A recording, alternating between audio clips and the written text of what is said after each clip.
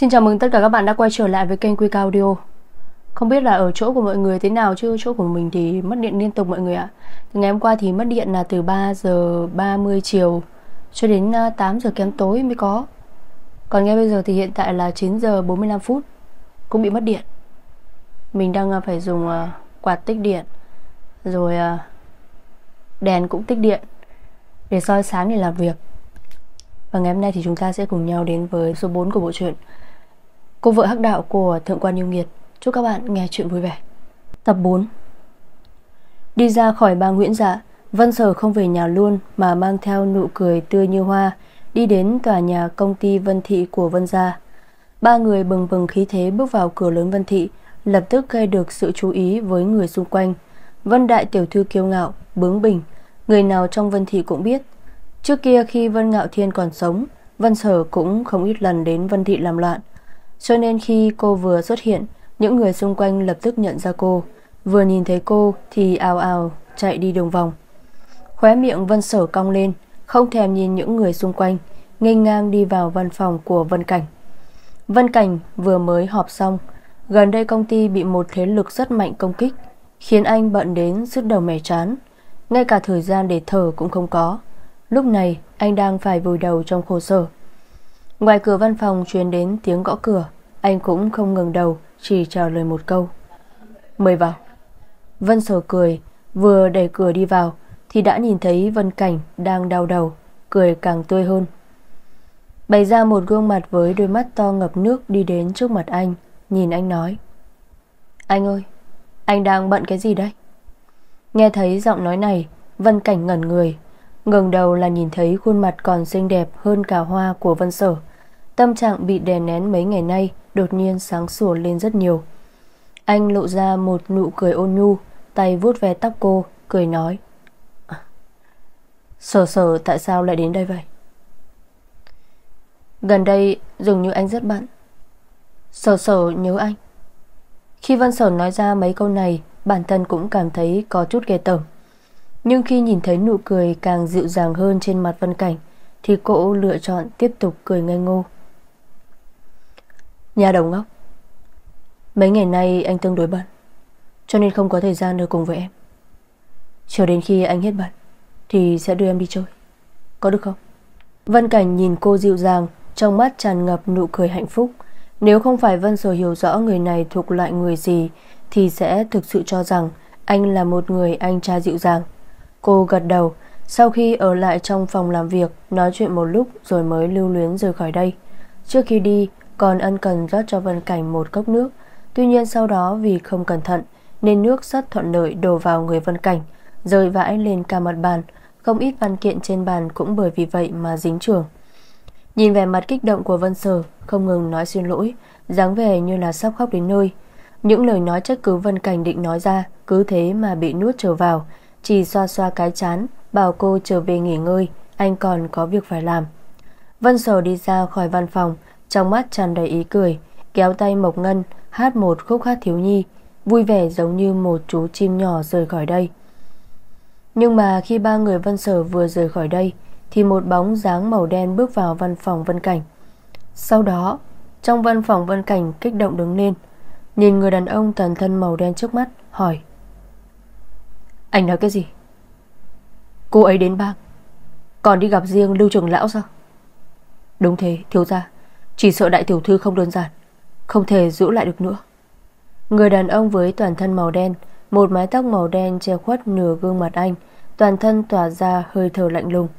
Vân cảnh cúi đầu, Trong mắt xoẹt qua một tia phức tạp. Tiếp tục nghe Âu Dương tự nói. Thiếu ra Đừng do dự nữa. Đại tiểu thư đã sớm không còn là nha đầu hồn nhiên đơn thuần kia nữa. Hiện tại anh còn không động thủ. Sau này cô ta mà mạnh mẽ hơn, Thì chúng ta sẽ không còn cơ hội nữa. Vân Cảnh nhắm mắt lại, Trong mắt xẹt qua một tia sát khí. Nhưng chỉ được một lúc rồi thu lại. Anh phất phất tay, nói, Tôi tự có chừng mực. Anh cứ nhìn chằm chằm cô ấy mọi lúc là được. Tạm thời đừng động đến cô ấy. Âu Dương Tự hơi nhắm mắt lại, Nhìn dáng vẻ do dự của Vân Cảnh, Cũng không nói gì nữa Mà xoay người đi ra khỏi văn phòng.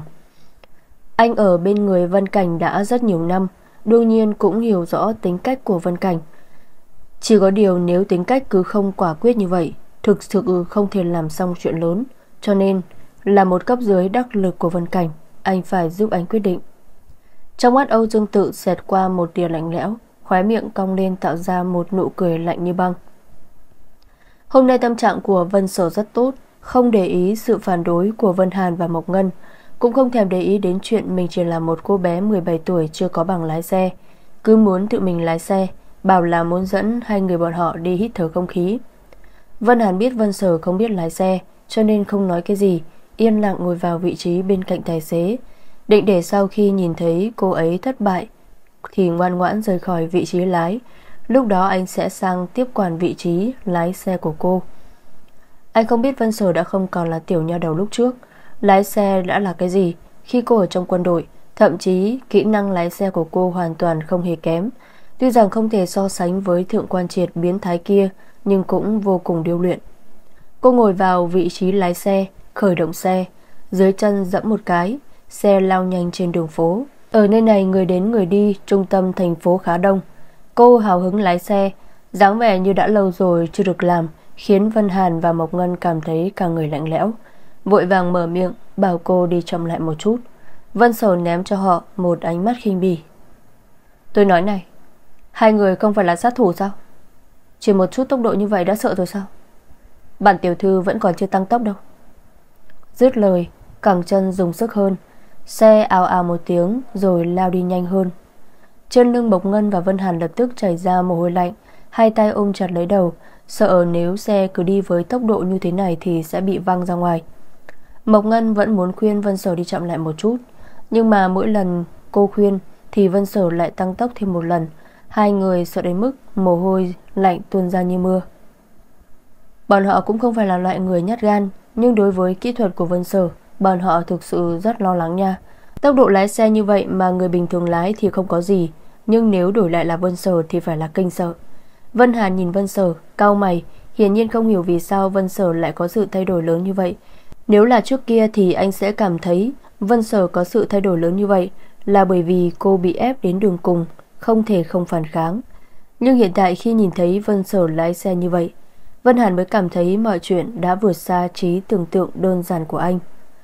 Nhưng cho dù Vân Sở có như thế nào thì anh vẫn sẽ đi theo cô vì cô mà vào sinh ra tử.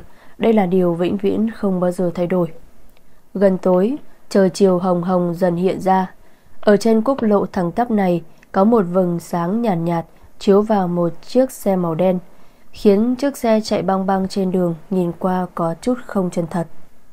Chỉ trong có vài phút, Xe đã đi ra khỏi nội thành. Trong lòng bàn tay Vân Hàn và Mộc Ngân Mồ hôi lạnh đã ra đầy Nhưng mà dường như Vân Sở Vẫn không có ý định giảm tốc độ. Ngược lại cau mày Dẫm chân một cái Tăng tốc độ xe. Nhìn thấy biểu cảm của Vân Sở Vân Hàn hơi nhíu mày Trong lòng lập tức có một sự cảm xấu. Đúng lúc này Vân Sở cắn răng Ánh mắt nhìn về phía gương chiếu hậu, Nhìn hai chiếc xe màu đen lươn đi theo sát bọn họ, Lạnh lùng nói, Đáng chết, Âm hồn không tan.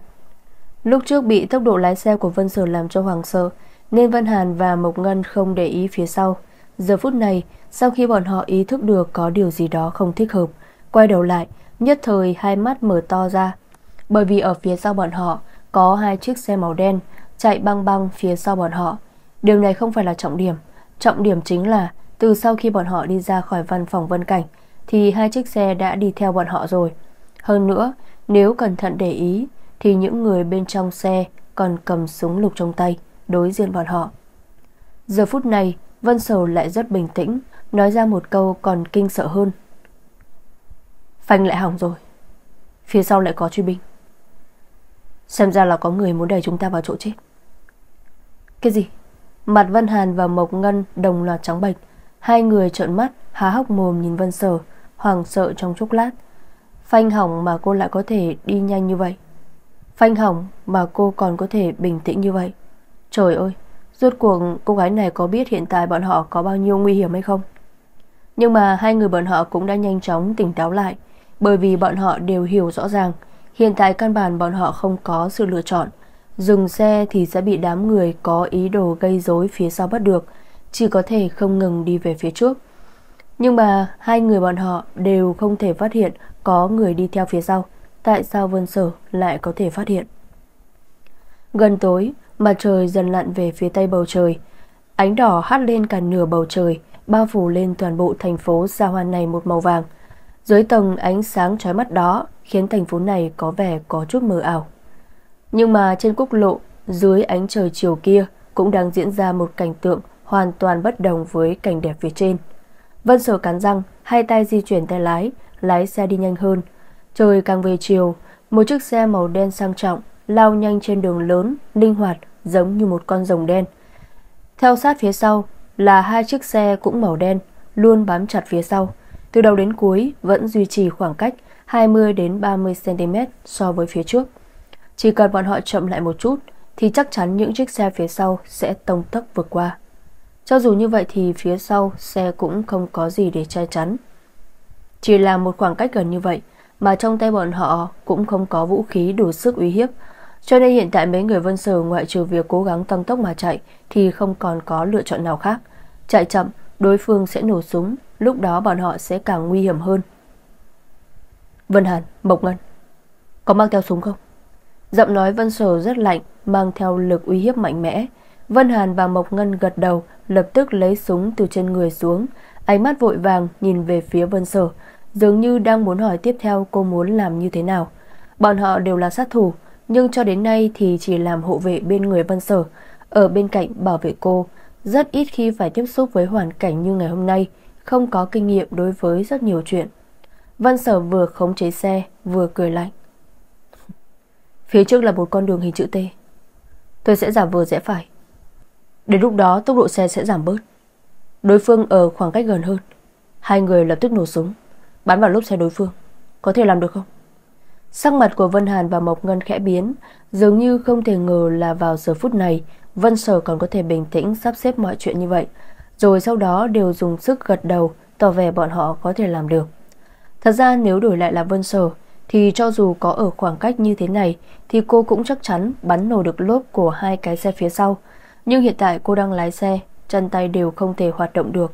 Xe không có phanh vô cùng nguy hiểm. Hiện tại quan trọng nhất là phải khống chế chiếc xe thật tốt, nếu không ba người bọn họ đều sẽ bị mất mạng. Cho nên, nhiệm vụ này chỉ có thể giao cho Vân Hàn và Mộc Ngân. Nhìn thấy Vân Hàn và Mộc Ngân gật đầu, Vân Sở cắn chặt răng, chỉ lát nữa sẽ đi đến đầu đường chữ T đó. Cô biết, cô muốn hành động trên chiếc xe hỏng phanh này tuyệt đối là chuyện không dễ dàng gì. Nhưng mà cô không có sự lựa chọn thứ hai. Những người phía sau đó không thể không bỏ lại. Nếu không bọn họ càng đến lúc nguy hiểm hơn. Hiện tại chỉ có thể mạnh tay một lần. Chân đang dẫm xuống chân ga hơi hơi nhức lên. Tốc độ xe từ từ giảm từ 102 km h xuống còn 80 km h Hai chiếc xe phía sau khi nhìn thấy bọn họ giảm tốc độ, trước mắt sáng lên, lập tức tăng tốc lên, trong chốc lát đã bám sát phía sau. Khoảng cách của ba chiếc xe ngày càng gần hơn, hai tay Vân Sở nhanh chóng di chuyển tay lái, đánh lái về phía bên phải, giống như đồng thời lúc đó cô hét lớn một tiếng. Nổ súng. Bang bang, bang bang. Vân Hàn và Mộc Ngân đồng thời nổ súng, vì để đảm bảo bắn trúng hai xe phía sau, bọn họ đồng loạt bắn ra hai phát súng. Còn những người trong hai chiếc xe phía sau, khi nhìn thấy hai người Vân Hàn nhô đầu ra, cũng đồng thời khởi động súng. Bang bang, bang ầm. Đồng thời hai chiếc xe phía sau cũng nổ súng về phía họ. Vân Sở cắn chặt răng, hai tay nhanh chóng bẻ lái về phía bên trái, trong miệng kêu: "Bảo bối, xông lên nào." Những người phía sau đã có dự đoán là Vân Sở muốn đi về phía bên phải, cho nên súng nhắm về phía mà Vân Sở định chạy đến, cũng chính là về phía bên phải. Còn Vân Sở đã có sớm chuẩn bị, khi Vân Hàn và Mộc Ngân đồng loạt nổ súng thì cô lập tức thay đổi phương hướng, giả vờ muốn chuyển hướng về phía bên phải. Thứ nhất là để người phía sau lơ là, thứ hai là để cho Vân Hàn và Mộc Ngân có thể nổ súng. Đợi đến khi mấy người phía sau bắn ra mấy viên đạn thì chiếc xe Vân Sở đã lái xe vượt qua nguy hiểm chuyển hướng về phía bên trái. Ở phía sau, lúc xe những người đó bị nổ, xe buộc phải dừng lại ở ven đường. Nhìn chiếc xe của Vân Sở bay đi như một con rồng đen, bọn hắn nghiến răng nghiến lợi, liên tục bắn vài phát súng về phía xe Vân Sở. Nhưng vào giờ phút này, Vân Sở đã lái xe ra khỏi nơi đó rất xa. Những viên đạn bọn họ bắn vào trên thân xe Vân Sở Nhưng không thể làm tổn thương đến những người bên trong Vân sở thở dài nhẹ nhõm một hơi Nhìn mấy chiếc xe chết dí trên đường phía sau Trên miệng lộ ra một nụ cười thắng lợi Vân Hàn và Mộc Ngân cũng thở dài nhẹ nhõm một hơi Quay đầu Nhìn khóe miệng tươi cười của Vân Sở, Cùng với một giọt mồ hôi trong suốt trên trán cô, Sự kính nể trong mắt Lại tăng thêm vài phần. Giờ phút này, Bọn họ đều cảm thấy may mắn Vì người lái xe là Vân Sở, Chứ không phải là Vân Hàn. Cho dù Vân Hàn đã lái xe nhiều năm, Thì cũng không thể cam đoan Là khi gặp phải tình huống như hôm nay Mà có thể an toàn thoát hiểm như vậy. Nhưng mà Vân Sở lại có thể làm được. Vân Sở vẫn lái xe nhanh như bay Lấy tay, lau đi mồ hôi trên trán, Nói với Mộc Ngân ở phía sau. Tiểu Ngân, Lấy di động đưa cho tôi. Mộc Ngân và Vân Hàn còn đang chìm trong sự vui sướng, Hoàn toàn quên đi bọn họ vẫn chưa loại bỏ được nguy hiểm. Nhưng Vân Sở lại không hề quên, Cô đang lái một chiếc xe không thể phanh lại. Bọn họ vẫn đang rất nguy hiểm, Cho nên cô phải tìm người đến giúp. Mộc Ngân nghe thấy lời nói nghiêm túc của cô, Cũng phục hồi lại tinh thần, Lập tức nghe lời, Đưa điện thoại di động cho cô. Văn Sở dùng một tay giữ tay lái, Một tay di chuyển trên màn hình di động, Không hề do dự, Gọi điện cho Thượng Quan Triệt. Lúc đó khi Vân Sở gọi điện, Thượng Quan Triệt đang ngồi trong phòng họp. Lúc này cuộc họp đã diễn ra trong hơn 2 tiếng. Tất cả mọi người đều mệt mỏi, Nhưng không có người nào dám thốt lên một câu. Mọi người xung quanh sợ hãi Nhìn vị vô cùng yêu nghiệt đang ngồi ở giữa kia. Về mặt lạnh lẽo hơn bất kỳ ai, Là người đàn ông dọa người hơn bất kỳ ai, Trong lòng vô cùng chua xót. Thượng tá bảo bọn họ đề ra phương án Để điều chỉnh quân đội nhưng cả một buổi chiều không có một ý kiến của người nào có thể khiến thượng quan thượng tá cảm thấy vừa lòng. Cuộc họp này cũng không biết khi nào có thể kết thúc. Nếu như còn phải tiếp tục ở trong bầu không khí khẩn trương như vậy, thì bọn họ sắp không chịu nổi nữa rồi. Nhưng vào đúng thời điểm này, di động của một người vang lên. Nghe thấy tiếng chuông điện thoại di động, tất cả mọi người bị dọa đến mức toát ra mồ hôi lạnh. Tham gia cuộc họp với Thượng quan Triệt, nào có ai dám để điện thoại kêu? Này cái này không phải là muốn chết sao? Nhưng mà bọn họ còn chưa kịp lo lắng Thì thượng quan triệt đã cầm chiếc di động trên mặt bàn lên Nhận điện thoại trong ánh mắt hoàng sợ của mọi người. Đầu kia điện thoại là giọng nói vô cùng quen thuộc đối với anh Ngọt ngào Mang theo vài phần đùa giỡn. Đại thúc Tôi đang ở đường cao tốc hoàn thị. Phanh lại hỏng rồi Đến đây đón tôi. Nghe thấy lời nói nhẹ nhàng này của Vân Sở, Trái tim thượng quan triệt nhảy lên một cái. Cô nói cái gì? Phanh lại hỏng rồi. Vậy mà cô còn có thể bình tĩnh như vậy sao? Thượng quan triệt lập tức đứng lên. Trên khuôn mặt vốn dĩ đang lạnh như băng, Lại tách ra một nụ cười vô cùng xinh đẹp. Sau đó nghe thấy anh nói một giọng Nói vô cùng quyến rũ. Nhà đầu, Cô xác định là không đùa tôi Mạng người quan trọng. Trời ạ, đại thúc, Nếu như anh còn không đến thì có lẽ sẽ phải nhặt xác của tôi đó. Giọng nói của cô vẫn bình tĩnh như thế, Không nghe ra một chút khẩn trương và sợ hãi nào, Nhưng lại khiến Thượng quan triệt sợ hết hồn. Đáng chết, Cố gắng đi chậm một chút, Nếu để xảy ra chuyện gì, Cô sẽ biết tay tôi. Tôi lập tức đến ngay.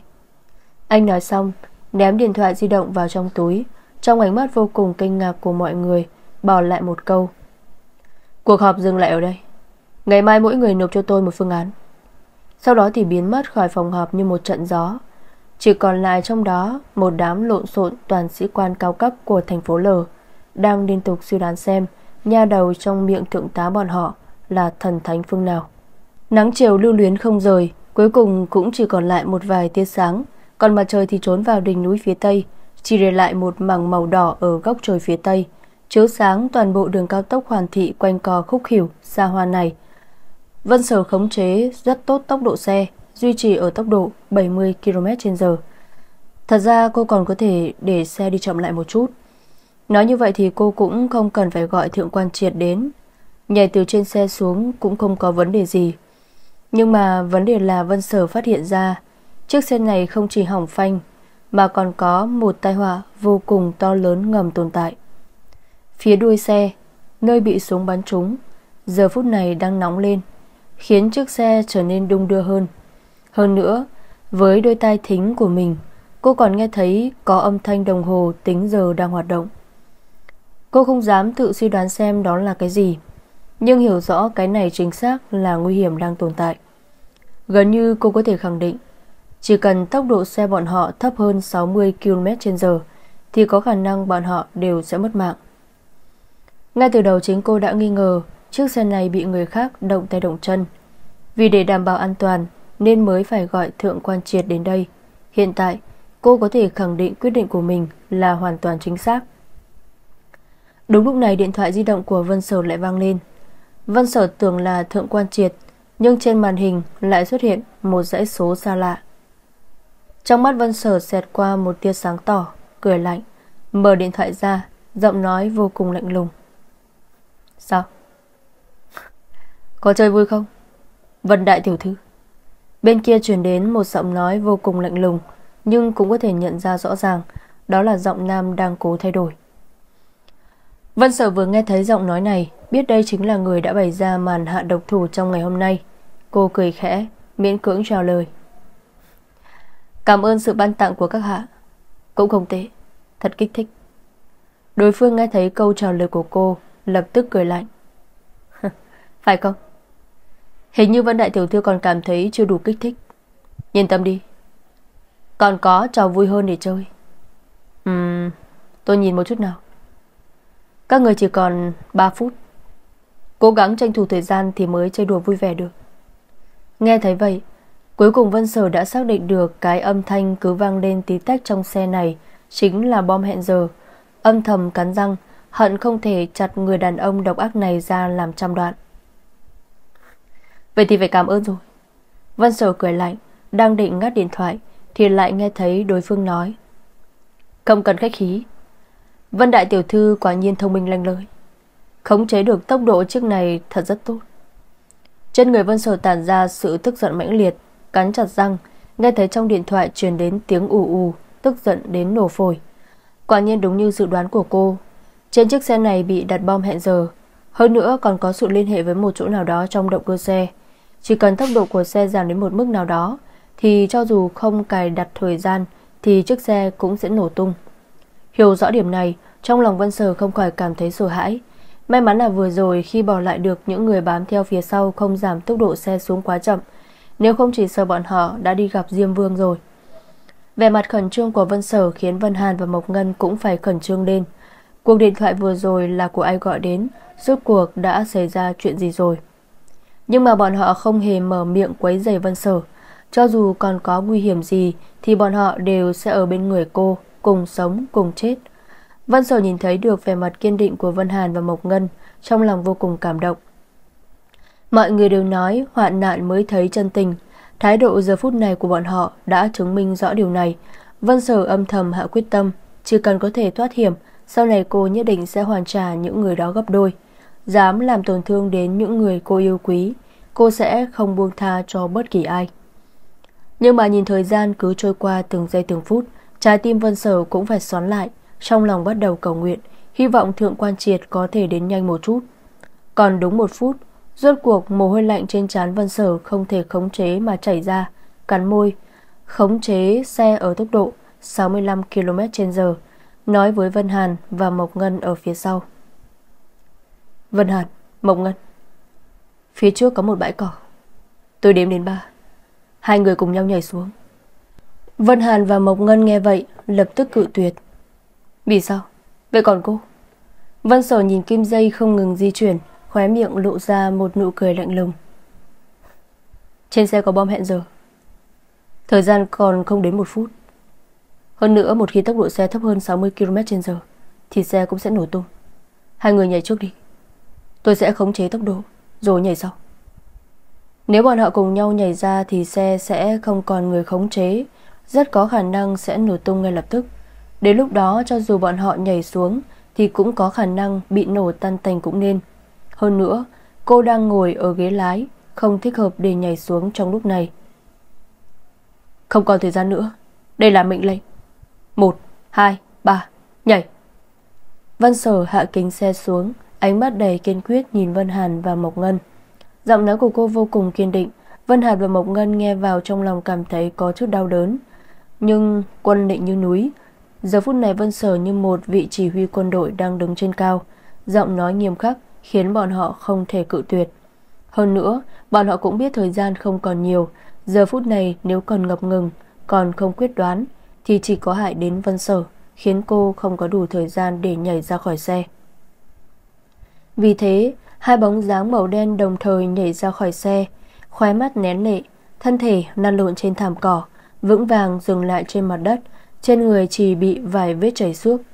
Vân Sở cắn răng, bất chấp tất cả, lái xe đổi hướng về phía làn xe đối diện, bắt đầu đi ngược đường. Ghế lái ở bên trái, nên cô đành phải đi ngược đường, lúc đó mới có thể thuận lợi nhảy ra khỏi xe. Cũng chỉ có như vậy mới có thể chắc chắn rằng sau khi bản thân nhảy khỏi xe sẽ không bị những chiếc xe khác ở phía sau đâm phải. Đồng thời, điều này cũng muốn nói cho những người lái xe đối diện lộ ra tín hiệu nguy hiểm trên chiếc xe này để bọn họ đừng đến gần.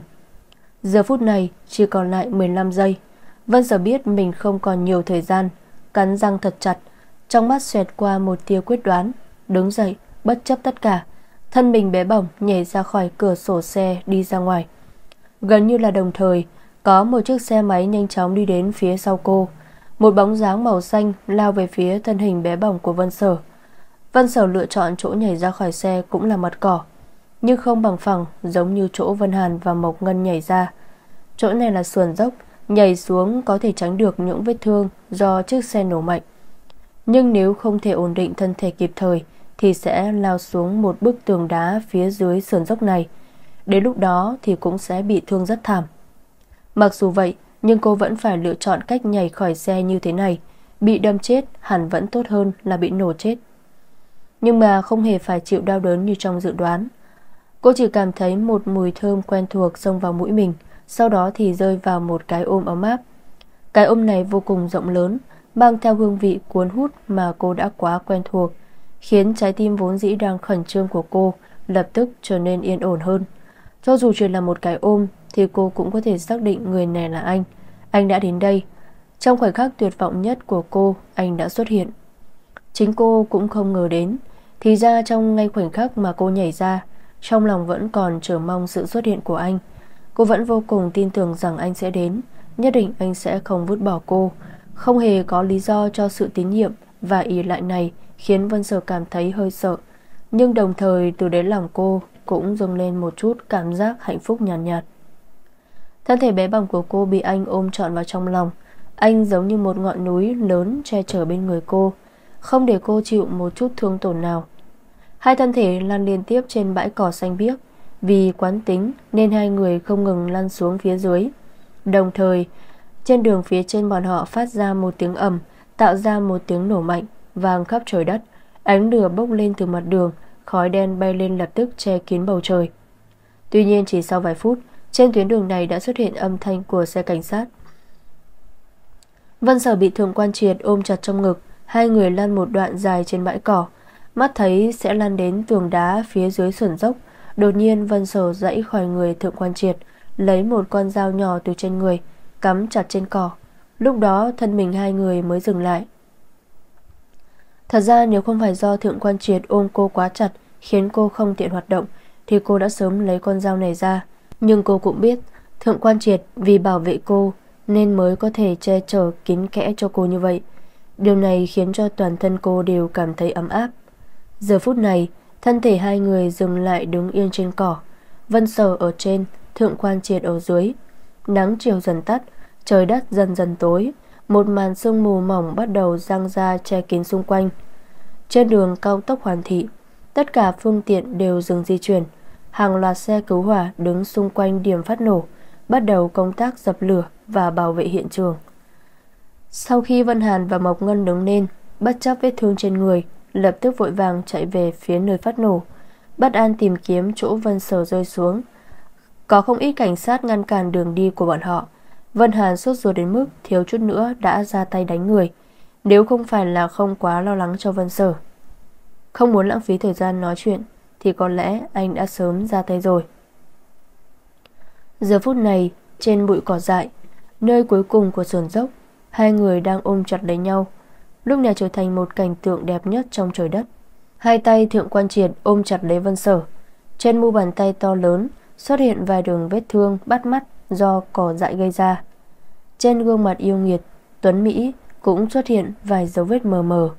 Trong con ngươi màu nâu lóe lên một tia lo lắng, Nhìn thật sâu vào cô gái ở trong lòng mình. Một tay Vân Sở nắm thật chặt vào con dao đang cắm trên mặt cỏ. Một tay để trong lòng thượng quan triệt. Trên gương mặt trắng nõn, Phấn nộn, lộ ra một nụ cười bình thản. Ngước mắt nhìn thẳng vào cặp mắt xinh đẹp của thượng quan triệt. Nhìn vào thượng quan triệt, Khóe miệng Vân Sở cong lên, Hơi nở nụ cười. Thượng quan triệt nhìn thấy cô nở nụ cười vô cùng thuần khiết. Trong sáng của cô, Trong lòng khẽ run lên. Tay ôm siết lấy cô thật chặt. Trong giọng nói tràn đầy trách cứ. Nhà đầu. Cô có biết vừa rồi có bao nhiêu nguy hiểm hay không? Anh thực sự không thể tin được. Đây thực sự là chuyện một cô gái 17 tuổi có thể làm được. Khống chế rất tốt tốc độ xe Để người trên xe nhảy khỏi xe an toàn. Sau đó bản thân lựa chọn nhảy xe như vậy. Trí tuệ như thế, Quyết đoán như thế. Ngay cả bản thân Thượng Quan Triệt cũng cảm thấy mặc cảm. Suốt cuộc là người nào? Tại sao lại nhận tâm muốn đẩy cô vào chỗ chết như vậy? Cô rõ ràng chỉ là một cô gái đơn thuần Đáng yêu. Cô đã làm cái gì sai Đã đắc tội với ai? Nghe thấy lời nói đầy trách cứ này của Thượng Quan Triệt Nhìn sự thương tiếc trong mắt anh Vân Sở giống như một đứa bé phạm phải sai lầm Lè lưỡi cười nói với anh. Ừ, Tôi đương nhiên biết là nguy hiểm Nhưng mà tôi cũng không còn có sự lựa chọn nào khác. Người muốn giết tôi nhiều lắm Khó lòng có thể phòng bị hết chứ sao? Nói xong thì cười lấy lòng với Thượng Quan Triệt. Tuy nhiên, Anh đến thực sự rất kịp thời. Nếu Thượng Quan Triệt đến chậm một chút nữa Thì hiện tại cô không chỉ vết thương chồng chất, Mà còn không thể động đậy được nữa. Nụ cười xinh đẹp của cô Giống như một ánh nắng trói lọi, Chiếu vào trái tim lạnh lẽo của Thượng Quan Triệt. Trái tim này trong một khoảnh khắc đó Đã đập nhanh hơn một nhịp. Gương mặt trắng nõn của cô Giống như một loại bạch ngọc đẹp nhất trên thế giới, Không hề có một chút khuyết điểm nào. Lông mi dài dài giống như hai cái quạt nhỏ. Theo động tác của cô mà di chuyển, Đôi mắt ngập nước này lóe lên sự hồn nhiên, Vui sướng sau khi gặp nạn mà sống sót.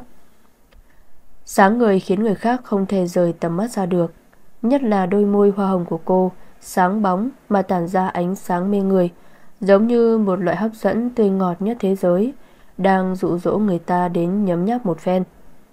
Thượng quan triệt chỉ cảm thấy lồng ngực căng thẳng ngay sau đó bàn tay to đặt lên sau đầu cô Kéo gần đầu cô lại Phủ lên đôi môi đỏ mọng quyến rũ của cô. Đôi môi đỏ mọng ngọt ngào Mang theo hương thơm ngát nhàn nhạt, nhạt Xúc cảm mềm mại Vô cùng tuyệt vời Khiến trái tim thượng quan triệt Phải nhảy lên một cái. Hương vị của cô vẫn tốt đẹp Giống như lần đầu tiên nhấm nháp trước kia. Thậm chí còn bởi vì hoàn cảnh và tâm trạng giờ phút này Mà càng trở nên mỹ vị hơn. Anh há mồm không để ý đến cô đang không an phận mà dãy ruộng Hôn thật sâu lên đôi môi kiểu diễm Ướt át của cô Đầu lưỡi nhân cơ hội đi thật sâu vào Thăm dò trong miệng cô Từ từ mút vào chiếm đoạt hương vị tươi ngọt trong miệng cô. Một tay ôm lấy thân mình mềm mại không xương của cô, eo nhỏ chưa đầy một bàn tay, một tay giữ lấy đầu cô, anh hôn một cách say đắm. Không thể nói rõ là vì sao anh lại không thể khống chế được như vậy. Chỉ cần tưởng tượng đến tình cảnh vừa rồi của cô, nghĩ đến cô thực sự có khả năng biến mất trong lúc nguy hiểm vừa rồi, vĩnh viễn biến mất trong thế giới của anh, thì trái tim anh không nhịn được mà có rút đau đớn. Đau đớn như vậy, chỉ có ôm chặt cô trong vòng tay Hôn cô thật mạnh Thì anh mới có thể cảm nhận thấy dễ chịu một chút. Vân sở vừa thở dài nhẹ nhõm một hơi Thì đã bị thượng quan triệt chặn miệng lại. Tức giận đến mức khuôn mặt nhỏ nhắn cũng trở nên đỏ bừng. Nhưng một tay cô đang nắm lấy con dao. Giờ chỉ lại còn lại một tay. Làm cách nào cũng không thể thoát khỏi sự trói buộc của thượng quan triệt. Đôi môi mềm mại của anh nhẹ nhàng vuốt ve cô. Đầu lưỡi to lớn càn quét một trận trong miệng cô. Nóng bỏng khiến trái tim cô cũng phải run lên. Trong miệng anh mang theo mùi hương mà cô đã quen thuộc. Thấm vào ruột gan.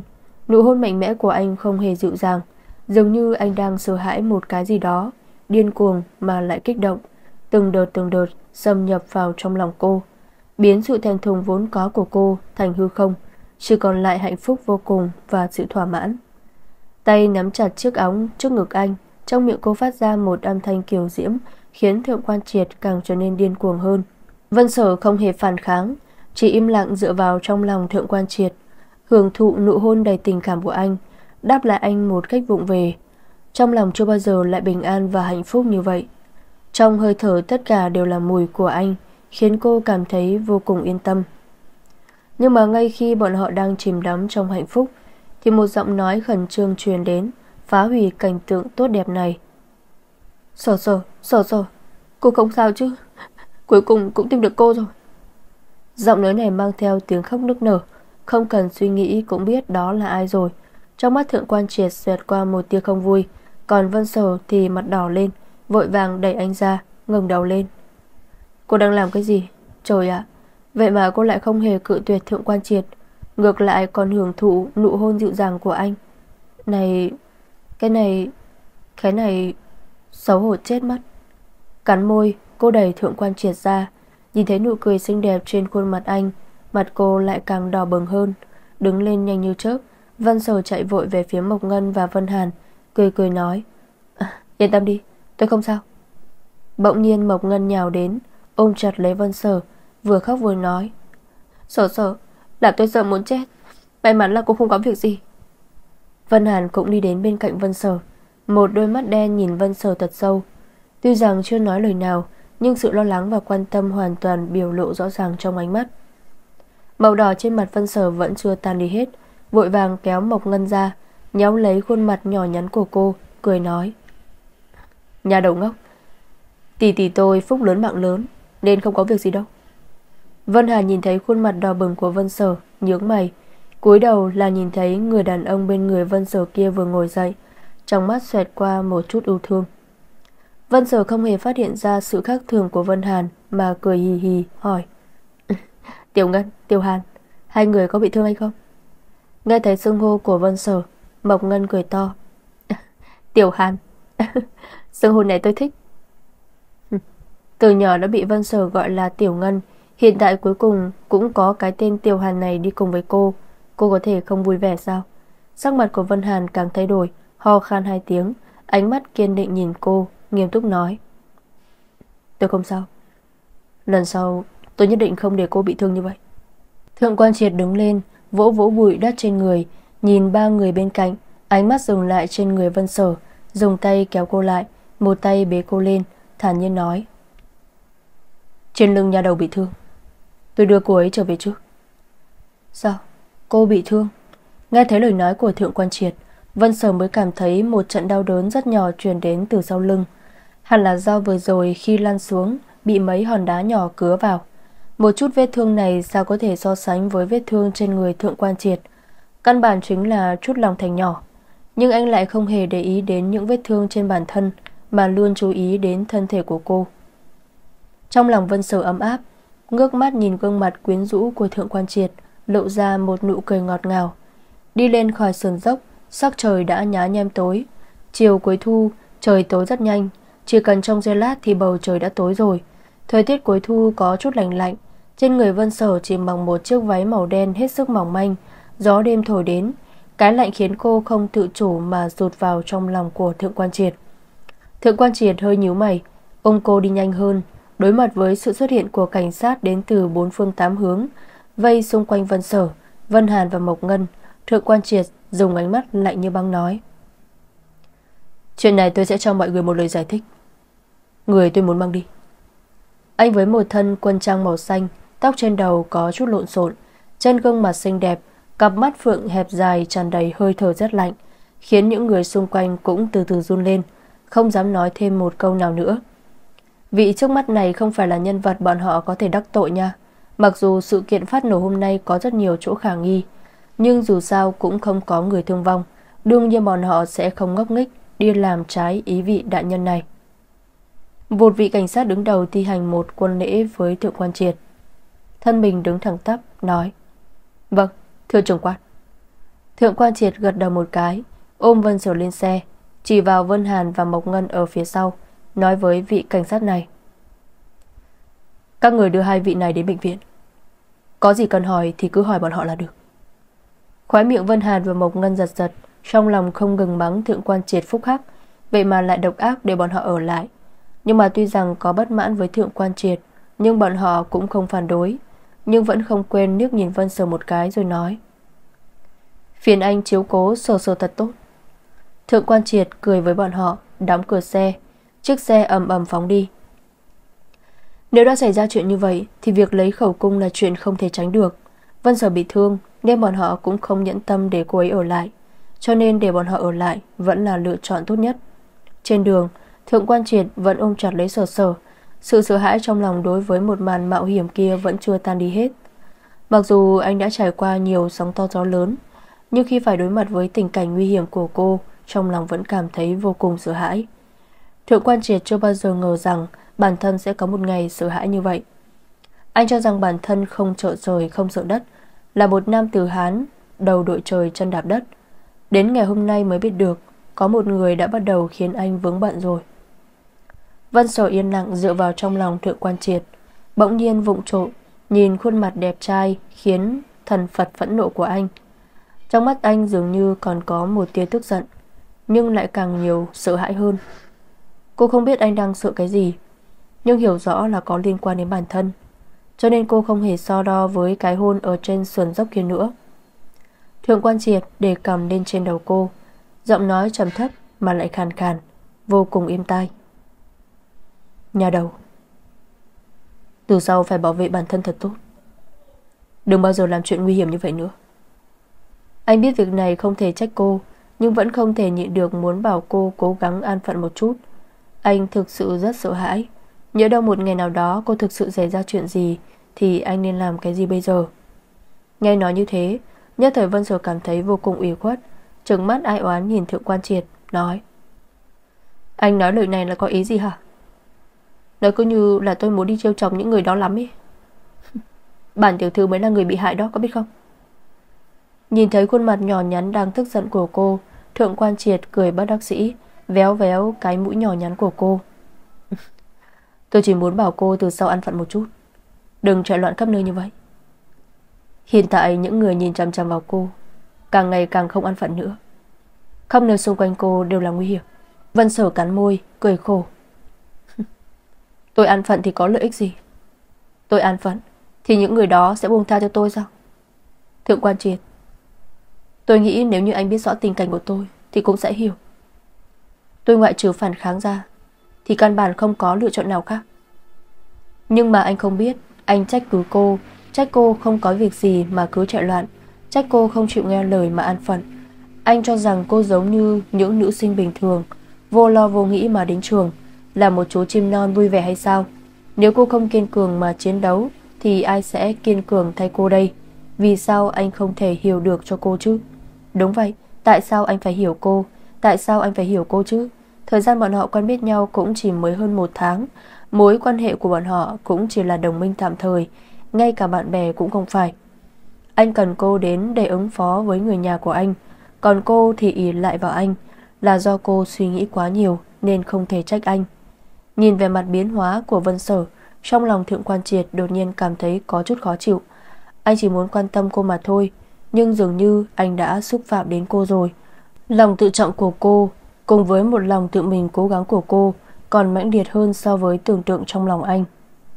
Tay nhẹ nhàng xoa lên gò má mềm mịn của cô Thượng quan triệt cười nói với cô Tôi sai rồi Bảo bối Đêm nay muốn ăn cái gì Để tôi làm cho cô Có được không Nghe thấy lời nói xin lỗi của thượng quan triệt Vân sở liếc nhìn anh một cái Cảm thấy thực sự không cần tức giận Với người đàn ông này Sau này cô cần phải nhớ Là không nên quá ỉ lại vào người khác là tốt rồi Còn về phần thượng quan triệt Đối với cô mà nói thì anh cũng chỉ là một người qua đường ất giáp. Đúng chỉ là một người qua đường ất giáp. Cô cần gì phải tức giận với một người qua đường ất giáp chứ? Nghĩ đến đây, tâm trạng cô tốt lên rất nhiều. Hất cầm lên, cố ra vẻ tức giận, nói. Tôi muốn ăn đại tiệc.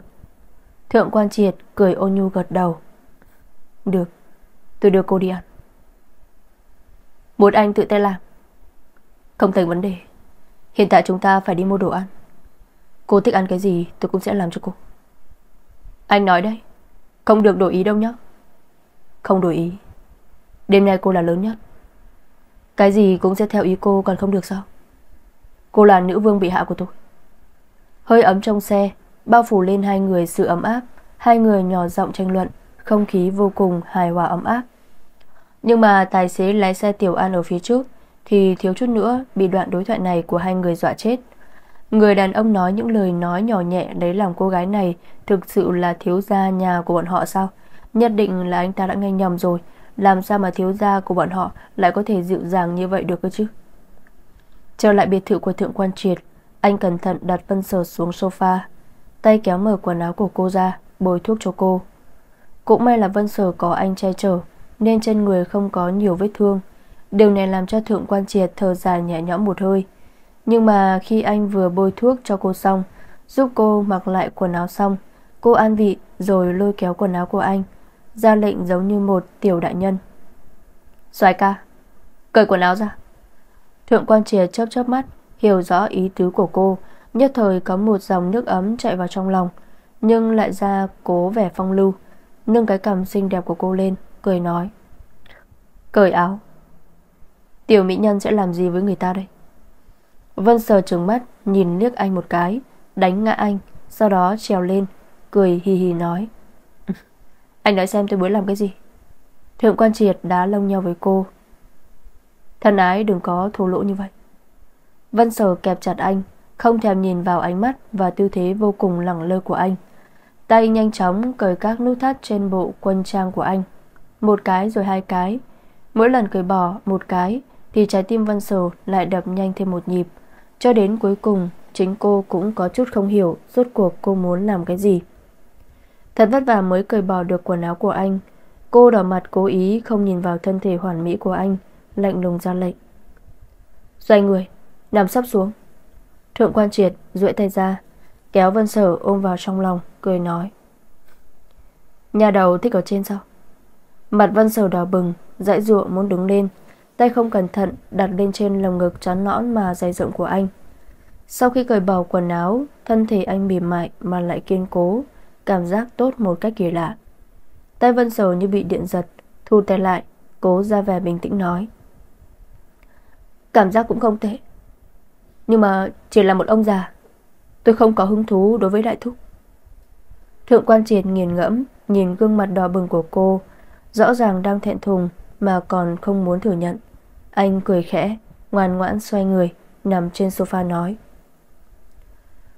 Chưa từng ăn qua, làm sao cô biết già hay không già Nếu không chúng ta thử một chút xem Già hay không già Vân sở kéo quần áo anh ra Ngón tay dính thuốc đang định bôi vào lưng anh. Sau khi nghe thấy một câu như thế, Mặt lại đỏ bừng đến tận cổ. Rồi sau đó, Cô bắt đầu bôi thuốc lên những vết thương trên lưng anh, Lập tức trong biệt thự truyền ra một loạt những tiếng gào như đang giết heo, Khiến chim chóc ngoài cửa sổ kinh sợ bay toán lạn. Tối hôm đó, Thượng quan triệt thực sự làm cho Vân Sở một bàn đồ ăn, Màu sắc hương vị đều có đủ cả. Vân Sở được ăn ngon nên đã nhanh chóng vút hết những chuyện không vui lúc chiều lên chín tầng mây rồi. Đồ ăn là do hai người bọn họ cùng nhau đi mua, gần như Vân Sở chọn toàn món cô thích ăn, sườn giấm đường, cà tím kho tàu, gà xào cay, sườn hấp, rau xanh ngũ vị, đậu hũ ngũ vị hương, dần dần bày kín cả một bàn. Hai người phấn đấu trong vẻn vẹn 2 giờ mới giải quyết xong một bàn đầy đồ ăn này. Cơm nước xong xuôi đã là hơn 9 giờ tối. Vân Sở suy nghĩ vẫn nên về nhà thì tốt hơn. Giống như lời Thượng Quan Triệt nói, Hiện tại cô ở chỗ nào cũng rất nguy hiểm. Nhất là ở Vân Gia chính là nguy hiểm nhất. Vân cảnh kia nhất định sẽ không bỏ qua cho cô. Nhưng cô không thể không trở về. Nơi đó là nhà của cô. Nơi đó có cái mà cô cần phải cướp lại. Nếu cô còn chưa ra tay Mà đã sợ hãi chạy trốn, Thì cần gì phải vất vả lấy lại những thứ Thuộc về bản thân chứ? Sau khi Thượng Quan Triệt nhận một cố điện thoại Bỗng nhiên nghe thấy cô nói muốn về nhà. Mày nhíu lại, Tay dịu dàng dừng trên mái tóc của cô, Nghiêm túc nói. Người hôm nay động tay động chân trên xe của cô. Cùng với người theo dõi các cô, Đã điều tra ra rồi. Văn sở ngước mắt nghiêm túc nhìn anh. Là ai? Nhớ đến chuyện hôm nay, Trong lòng cô vẫn còn có chút sợ hãi. Liên hoàn kế nguy hiểm như thế, Liên tiếp đan sen. Nếu như người lái xe hôm nay không phải là cô nếu như sự cảnh giác của cô không đủ, Thì thực sự cô đã phải chết bao nhiêu lần rồi? Người nhận tâm như thế, Âm mưu tỉ mỉ như thế, Đối phương chắc chắn là một nhân vật nguy hiểm. Sau này nhất định cô không thể khinh thường. Đương nhiên, Tất cả những điều cô phải nhận hôm nay, Ngày khác chắc chắn sẽ trả lại gấp bội. Là người băng huyện gia Thủ hạ của Vân Cảnh. Giọng nói thượng quan triệt lạnh nhạt, Lời nói lại vô cùng nghiêm khắc. Tôi biết ngay mà. Cuối cùng anh ta đã không thể kìm nén được nữa rồi. Vân Sở nhắm mắt lại, Trong mắt tràn đầy ngập sát khí. Nhìn Vân Sở dọa người như thế, Thượng quan triệt há miệng thở dài, Cuối cùng không nói thêm gì nữa. Thật ra anh muốn nói cho cô biết, Hôm nay Vân Cảnh luôn bận rộn ở công ty, Theo lý thuyết thì không có thời gian đi tính kế Vân Sở. Nhưng trên đường Vân Cảnh lại gặp một người, Không thể loại trừ trường hợp chuyện này là do Vân Cảnh gây ra. Nhưng mà cho dù chuyện này là ý của ai thì chắc chắn cũng sẽ không thoát khỏi liên quan đến Vân Cảnh. Vân Sở kiên trì muốn về nhà, Thượng quan triệt cũng không ngăn cản. Vì để Vân Cảnh không nghi ngờ Thượng quan triệt, Nên lúc này Vân Sở không để Thượng quan triệt đưa cô về nhà. Nhưng Thượng quan triệt vẫn lo lắng, Theo đuôi xe cô cả quãng đường, Hộ tống cô về nhà an toàn rồi mới rời đi. Xuống xe, Đi vào trong sân một tòa nhà xa hoa, Trong lòng Vân Sở lạnh như băng. Thật ra vốn dĩ cô vẫn giữ lại một chút hy vọng với Vân Cảnh dù sao Vân Cảnh cũng là người mà cha cô thu dưỡng, Có lẽ anh sẽ không nhận tâm như vậy. Thực sự vì quyền thế mà đuổi tận giết tuyệt với bản thân, Nhưng cuối cùng cô vẫn phải thất vọng rồi. Vân Cảnh còn độc ác hơn so với tưởng tượng của cô rất nhiều. Nếu anh ta không còn để ý đến tình thân mấy năm qua, Vậy thì đừng trách cô không khách khí. Toàn thân Vân Sở tàn ra hơi thở lạnh lùng, Bước vào sân Vân ra Vừa vào đến cửa lớn, Đã nhìn thấy Vân Cảnh vội vội vàng vàng chạy ra chào đón. Về mặt lo lắng nhìn cô hỏi han ân cần. Sở sở Em thế nào rồi? Nghe nói em bị tai nạn xe cô Có bị thương hay không? Nhìn thấy về mặt giả dối của Vân Cảnh Vân Sở cũng lười giả trang trước mặt anh nữa. Cô cười lạnh nhíu mày nói. Tai nạn xe cộ sao? À, Yên tâm đi. Chỉ có cái xe gặp họa Còn tôi thì không chết được. Trong giọng nói của cô tràn đầy sự trầm trọng Khiến thân thể Vân Cảnh đột nhiên cứng lại. Anh nhíu mày, Không biết vì sao đột nhiên Văn Sở lại trở lại lạnh lùng với bản thân như vậy, Thậm chí còn có đầy địch ý. Sổ sổ.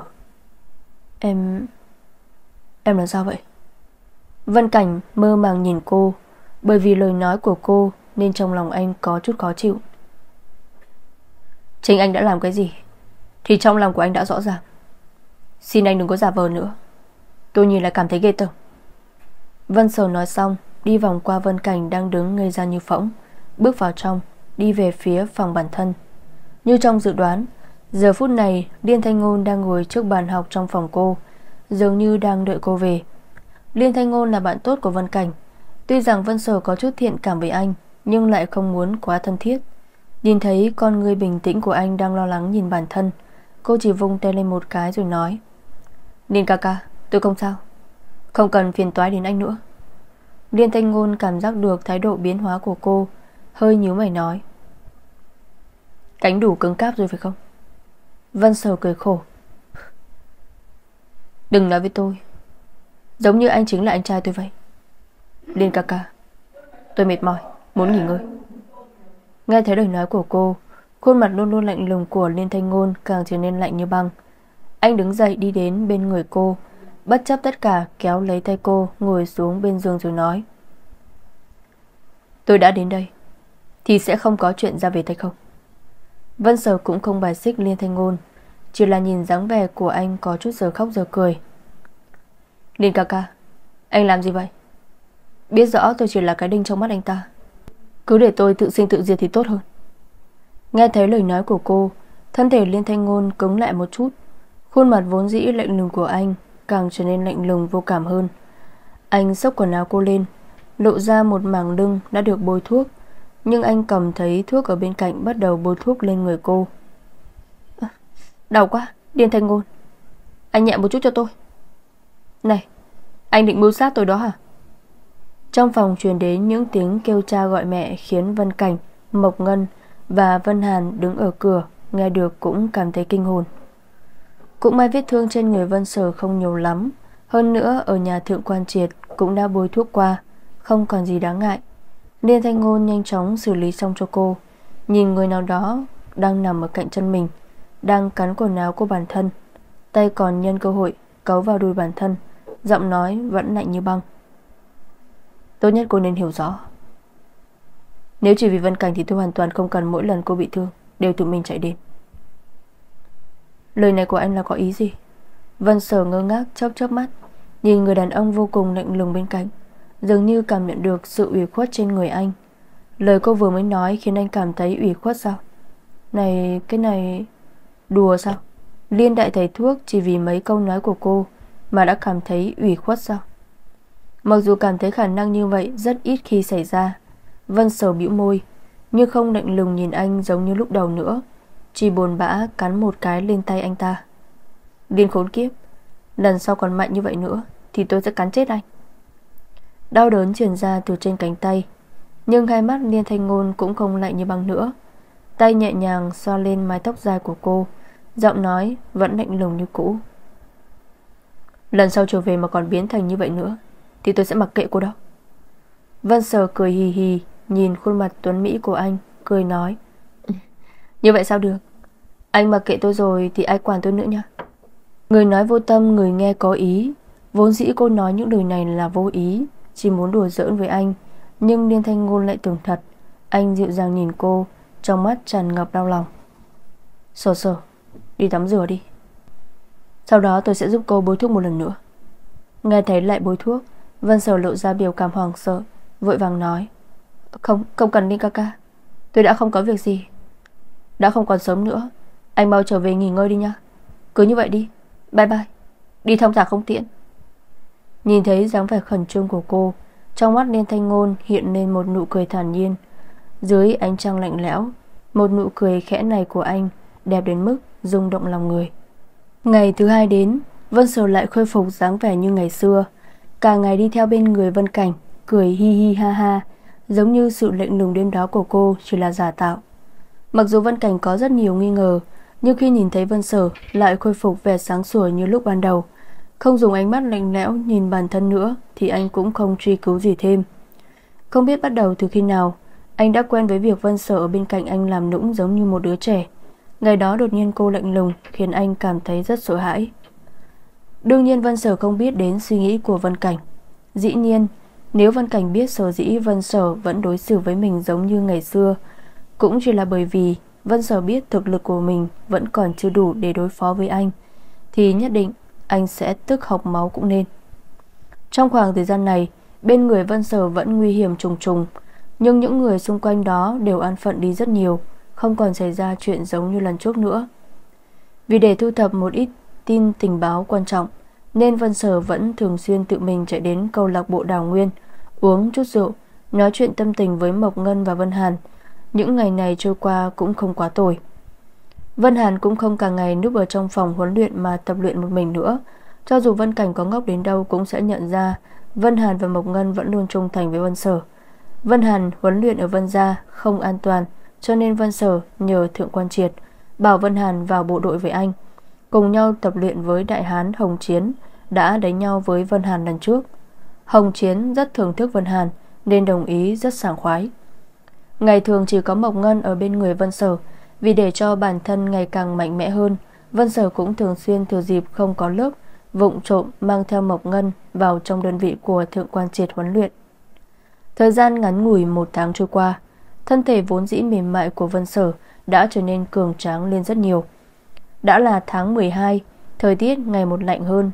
Vân Sở cũng thay chiếc váy màu đen xuống, Mỗi ngày đều mặc áo khoác thật dày Dày cổ thật cao đi học. Nhưng cho dù thời tiết có khắc nghiệt đến đâu, Thì trong một tháng này, Mỗi ngày Vân Sở đều kiên trì, Nghiêm túc tập luyện. Kiếp trước cô chính là bộ đội đặc trùng Đối với cô huấn luyện trong quân đội mà nói Thì vô cùng quen thuộc. Nếu không phải là do thân thể này quá yếu, Thì cô cũng không cần phải vất vả Đi vào huấn luyện như vậy. Nhưng để đối phó với Vân Cảnh, Thì cô không có sự lựa chọn nào khác. Ngoại trừ huấn luyện thì vẫn là huấn luyện. Nếu cô không thay đổi một cách mạnh mẽ lên, Thì sẽ vĩnh viễn bị dẫm nát dưới chân Loại cảm giác bất lực này cô chịu đủ rồi. Ngoại trừ việc mỗi ngày kiên trì huấn luyện, Thì mỗi ngày Vân Sở đều chạy đến bang Nguyễn Dạ. Cô làm nũng trước mặt Vân Cảnh, Nói gần đây cô rất nhàm chán, Muốn đến bang Nguyễn Dạ để học tập thêm. Chuyện ở công ty khiến Vân Cảnh bận không thở nổi, nào còn thời gian để đi quản lý Vân Sở, Đương nhiên sẽ không ngăn cản chuyện cô làm. Còn Âu Dương Tự Là cấp dưới đắc lực của Vân Cảnh. Trong khoảng thời gian này cũng sẽ lặng lẽ Tiếp cận Vân Sở. Vân Sở không biết thân phận của Âu Dương Tự. Trong một lần ngoài ý muốn, Còn trở thành bạn bè với anh. Vốn dĩ, Âu Dương Tự muốn nhân cơ hội này xuống tay với Vân Sở, Nhưng ý đồ đó đã bị Vân Cảnh nhìn thấu. Vân Cảnh biết được tai nạn xe cộ lần trước Là do Âu Dương Tự làm, Phạt Âu Dương Tự và đám người dưới anh Phải cấm túc nửa tháng. Bởi vậy, trong khoảng thời gian này, Vân Sở coi như được tạm an ổn, Không có chuyện gì xảy ra ngoài ý muốn. Một tháng kỳ hạn đã đến Vân Sở lợi dụng sự thông minh tài trí của bản thân Đã khiến nhiều người trong bang huyễn dạ Phải nhìn với cặp mắt khác xưa. Lúc Lưu Trường Lão nhìn thấy bản lĩnh của cô, Rất vừa lòng với Vân Sở Cuối cùng chân thành nói với Vân Sở Cả đời này, hắn sẽ là tùy tùng của cô, Giúp cô cướp lại tất cả những thứ thuộc về cô. Có Lưu Trường Lão chống lưng, Nên mọi chuyện Vân Sở làm trong bang huyễn giả Cũng thuận lợi lên rất nhiều. Vốn dĩ cũng có không ít người có chút dao động Nhìn thấy Lưu Trường Lão đầu quân cho Vân Sở Cũng đều dục dịch đứng lên Vân Sở nắm chắc thời cơ Thừa dịp Vân Cảnh bị chuyện công ty quấn thân không đi xử lý được nên đã thu phục được không ít người. Hôm nay, sau khi tan học, Vân Sở vẫn đi đến điên vị của Thượng quan triệt huấn luyện. Huấn luyện xong, tắm rửa sạch sẽ thoải mái xong, thay một bộ quần áo xinh đẹp rồi đi đến câu lạc bộ Đào Nguyên. Trong quán bar loại người nào cũng có, có thể nghe được đủ loại tin tức, là nơi thu thập tin tình báo tốt nhất. Nếu không phải trên tay cô không có nhiều tiền, thì cũng sẽ tính toán tự bản thân mở một câu lạc bộ rồi. Hôm nay Mộc Ngân bị cô điều đi làm việc, cho nên không đến đây cùng với cô. Cô đi một mình trên đường Gió lạnh lướt qua Dường như bất kỳ lúc nào cũng có thể thổi bay thân thể bé bỏng của cô. Nhìn thấy sắp đến câu lạc bộ đảo Nguyên Đang rét sắp chết Nên trong lòng Vân Sở vô cùng vui vẻ. Nhưng có người không muốn để cô như ý nguyện Đứng chặn trước mặt cô Trong lúc cô đang sắp chết rét. Vân Sở nhìn vài người đàn ông Mặc bộ quần áo màu xanh lam, Khí thế hùng hồn, dáng vẻ như tên côn đồ này, trong mắt lập tức lạnh như băng, Khóe miệng cong lên, Cười nói. Có phải biết bản tiểu thư đang lạnh? Nên muốn đến đây giúp bản tiểu thư làm nóng người hay sao? Có tổng cộng 5 người trước mặt, Cầm đầu là một người đàn ông mặc áo gió màu xanh, Trên miệng ngậm một điếu thuốc, Đầu tóc bị gió lạnh thổi bay toán lạn Bên phải khuôn mặt có một vết sẹo mờ nhạt, Nhìn qua rất giống hung thần ác sát. Nghe thấy lời nói của Vân Sở, Người nọ nhổ một ngụm nước miếng, nhíu mày. Vết sẹo trên má phải cũng vì đó Mà trở nên dữ tợn hơn.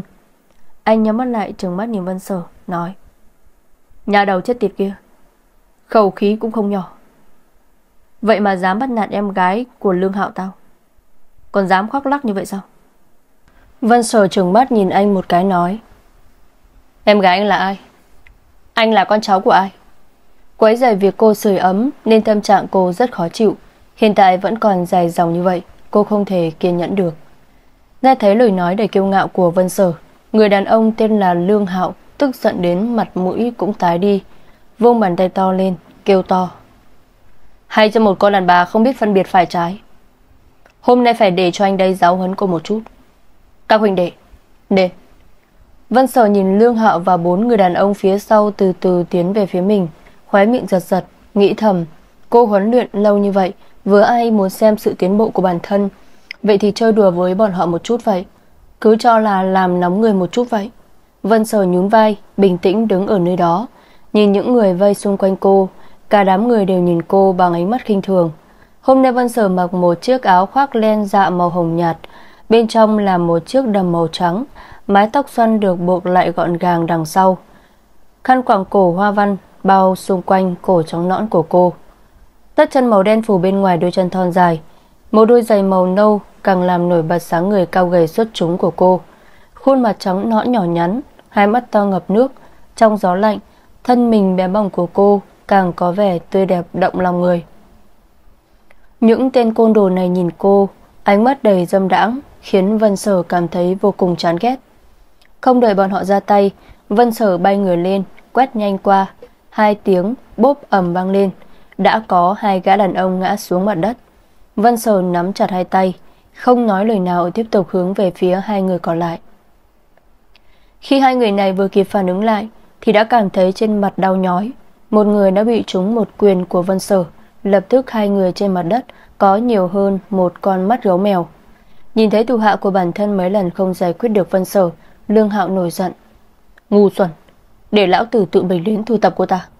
Nói xong, Lương Hạo vứt tàn thuốc trong tay mình đi, giơ quả đấm lên hướng về phía Vân Sở. Vân Sở cười lạnh, ngay lập tức bắt được nắm tay của hắn, kéo anh ra phía trước. Sau đó đột nhiên một con dao đã dừng lại trên cổ Lương Hạo.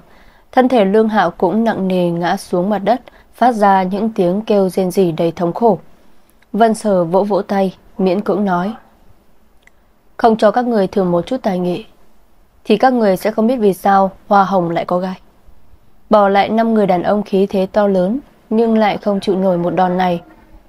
Vân Sở từ từ bước vào câu lạc bộ Đào Nguyên, thì để lại cho năm người đàn ông này một bóng lưng động lòng người. Năm người đàn ông từ từ đứng lên khỏi mặt đất, không cam lòng nhìn Vân Sở, nghiến răng nghiến lợi nói: "Đáng chết. Nhà đầu đáng chết vậy mà lại dám đánh tôi. Các huynh đệ..."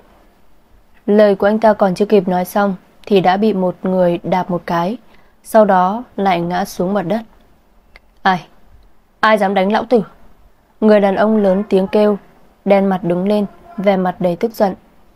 Nhưng mà khi hắn nhìn thấy một người đàn ông khoác một chiếc áo khoác màu đỏ, đang tươi cười nhìn chính mình, thì máu trong thân thể cũng phải đông lại. Hai chân anh run run, thiếu chút nữa thì quỳ dạp xuống đất. Ờ, lão, lão đại. Anh nói lắp bắp, trên mặt là nụ cười lấy lòng. Chỉ thấy người đàn ông kia với mái tóc màu vàng óng, trong mắt hàm chúa ý cười, nhưng lại khiến người khác cảm giác được cái rất lạnh thấu xương. Hả? Anh quen tôi sao? người đàn ông cười khẽ, rõ ràng là gương mặt vẫn còn trẻ con, nhìn qua không có một điểm nào có thể dọa người, nhưng Lương Hạo vẫn sợ đến mức thiếu chút nữa đái ra quần. Biết, có biết. Lão, lão đại, thế nào mà người lại ở trong này vậy? Lương Hạo cười lấy lòng hỏi, người đàn ông gật đầu, ngoắc ngón tay với hắn, cười nói. Lại đây. Lương Hạo sợ hãi nuốt nước miếng một cái Chậm rãi đi đến bên người đàn ông. Chỉ cảm thấy người đàn ông cúi đầu Từ trên cao nhìn xuống anh Gần từng chữ nói. Giao cho anh một nhiệm vụ. Làm tốt thì có thưởng. Làm không tốt. Nghe thấy lời nói của người đàn ông Lương Hạo gật đầu như dã tỏi Lão đại ngài Chuyện ngài nói cho dù là lên núi đao xuống biển lửa Thì tiểu nhân nhất định không chối từ Người đàn ông cười khẽ, trên mặt là biểu cảm vô hại, giọng nói cũng vô cùng trong trèo, vô cùng êm tai. Anh cứ yên tâm, tôi sẽ không bắt anh lên núi đao xuống biển lửa. Chỉ cần từ hôm nay trở đi, anh trở thành hộ vệ cho cô gái vừa rồi. Luôn luôn để cố ý sai khiến là được rồi. Lương Hạo choáng váng, ngơ ngác nhìn người đàn ông yêu nghiệt trước mắt này, nuốt nước miếng, nói. Chỉ cần như vậy thôi sao? Người đàn ông gật đầu. Đúng vậy, đi thôi. Nhớ là phải nhất định ngoan ngoãn nghe lời cô ấy. Nếu không để tôi biết anh lười biếng hoặc là làm sai cái gì đó, thì không biết chừng tôi sẽ bị mất đi một thủ hạ như anh đó. Nghe thấy câu nói như thế, Lương Hạo lùi ra phía sau vài bước, thân thể run lên nhưng trên mặt vẫn tươi cười. Lão, lão đại anh cứ yên tâm, tiểu nhân nhất định sẽ làm như lời của ngài nói. Lúc này người đàn ông mới gật đầu vừa lòng, nhẹ nhàng lắc lắc mái tóc màu vàng kim của mình, bổ sung thêm một câu. Nhớ kỹ, cố gắng làm việc cho tốt. Cho đến khi cô ấy không cần đến anh nữa mới thôi. Um, nếu như cô ấy không cần anh, thì cũng không cần trở về chỗ của tôi nữa. Ý nghĩa chính là nếu anh không làm tốt thì tính mạng sẽ bị lão đại lấy đi.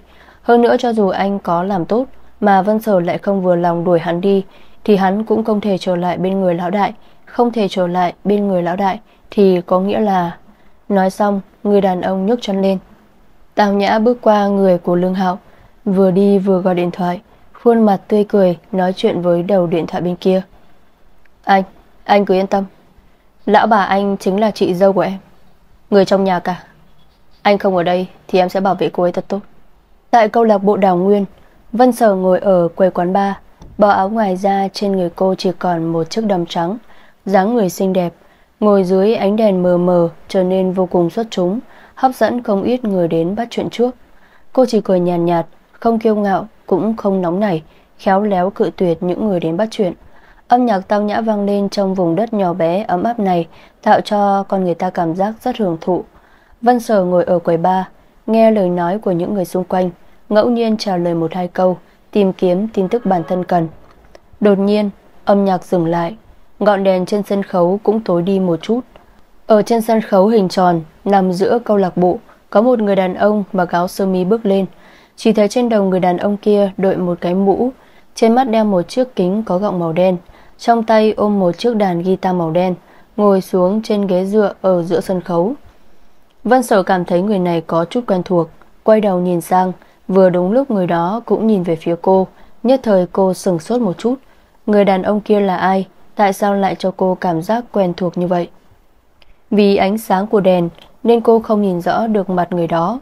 Nhưng không để cô phải suy nghĩ nhiều, Thì có một giọng nói đầy nịnh nọt Của một người đàn ông truyền đến bên người. Vân Tiểu Thư. Nghe thấy vậy, Vân Sở quay đầu thì nhìn thấy khuôn mặt bị đánh đến bầm dập Của một người đàn ông. Phía sau có bốn người đi theo đang cúi đầu Cười hì hì nhìn bản thân. Người này không phải là Lương Hạo Mà vừa bị cô đánh ngã hay sao? Anh ta đến đây làm chi? Vân sở nhíu mày Bưng ly kê vĩ tiểu lên Bình tĩnh nhấp một ngụm Miễn cưỡng hỏi. Thế nào? Vẫn chưa biết vì sao hoa hồng lại có gai à, à Không phải không phải. À, Vân tiểu thư Tôi Chúng tôi vô cùng kính nể sự anh dũng của cô. Cho nên sau này chúng tôi muốn đi theo cô năn lộn. Lương Hạo thấy cô đang định động thủ, Vội vàng xin khoan dung.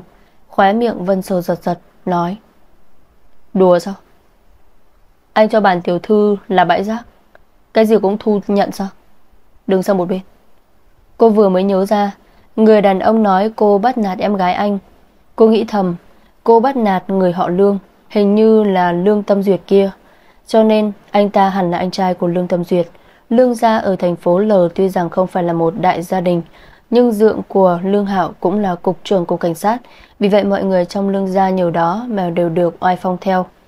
Đương nhiên, cô là Vân Đại Tiểu Thư thì cũng không cần phải sợ cục trưởng cục cảnh sát này, cho nên người như Lương Hạo cô càng khinh thường hơn. Hơn nữa, vài phút trước người này còn nói là muốn dạy dỗ bản thân, hiện tại lại chạy đến đây để xin đầu quân vào, chuyện này chắc chắn có vấn đề. Cô không cần thu thêm một tai họa ngầm ở bên người đâu. Nghe thấy lời nói của cô, Lương Hạo trương ra vẻ mặt đầy đau khổ. Cầu xin nói Văn tiểu thư Văn xin cô đón nhận tôi đi. Chỉ cần cô thu nhận tiểu đệ Thì sau này tiểu đệ nhất định sẽ làm trâu làm ngựa cho cô. Nếu cô không cần anh Thì sau đó nhất định anh phải chết. Người vừa rồi chính là thủ lĩnh Của tổ chức hắc ám lớn nhất thành phố lửa bọn họ. Cũng là lão đại ám sát của bọn họ Người ngoài có khả năng không biết đến ám sát Nhưng Lương Hạo Anh là một thành viên của ám sát nên vô cùng rõ ràng sự đáng sợ của lão đại bọn họ. Vì không để bị lão đại thu thập, cho dù có bắt anh làm trâu làm ngựa cho Vân Sở thì đều có thể. Vân Sở buồn cười nhìn người này, nói Làm trâu làm ngựa Anh thử làm cho tôi xem nào Lương Hạo cắn môi Trương ra vẻ mặt khổ sở Chỉ thiếu chút nữa là quỳ xuống cầu xin Vân Sở Nhìn thấy vẻ mặt này của anh, Con người Vân Sở xoay tròn, Đột nhiên thay đổi ý kiến. Anh muốn đi theo tôi thì cũng được thôi. Nhưng mà Chưa bao giờ tôi muốn thu nhận một người vô dụng. Cũng không muốn những người khả nghi. Ngay lập tức tinh thần lương hạo sáng sủa hơn, Nói, Vân Tiểu Thư yên tâm. Chỉ cần cô thu nhận lương hạo tôi, Sau này cô chính là chủ nhân của tôi. Tôi tuyệt đối không phản bội. Lý do đâu? Tôi dựa vào cái gì để tin tưởng anh? Vân sở nhíu mày, Cầm khẽ nhích lên, Vẽ nên một đường cong xinh đẹp. Lương Hạo cắn răng, Lấy một khẩu súng từ trên người, Đưa cho Vân Sở, Nghiêm túc nói. Nếu tôi phản bội cô Cô cứ dùng khẩu súng này bắn chết tôi. Cô yên tâm, Đây là khẩu súng có khắc tên tôi. Dùng nó bắn chết tôi, Thì sẽ không có kẻ nào dám tìm cô gây phiền toái. Lúc này đến lượt Vân Sở kinh ngạc, Cô tiếp nhận khẩu súng trong tay của Lương Hạo. Quả nhiên nhìn thấy mặt trên của khẩu súng Có khắc một chữ Hạo.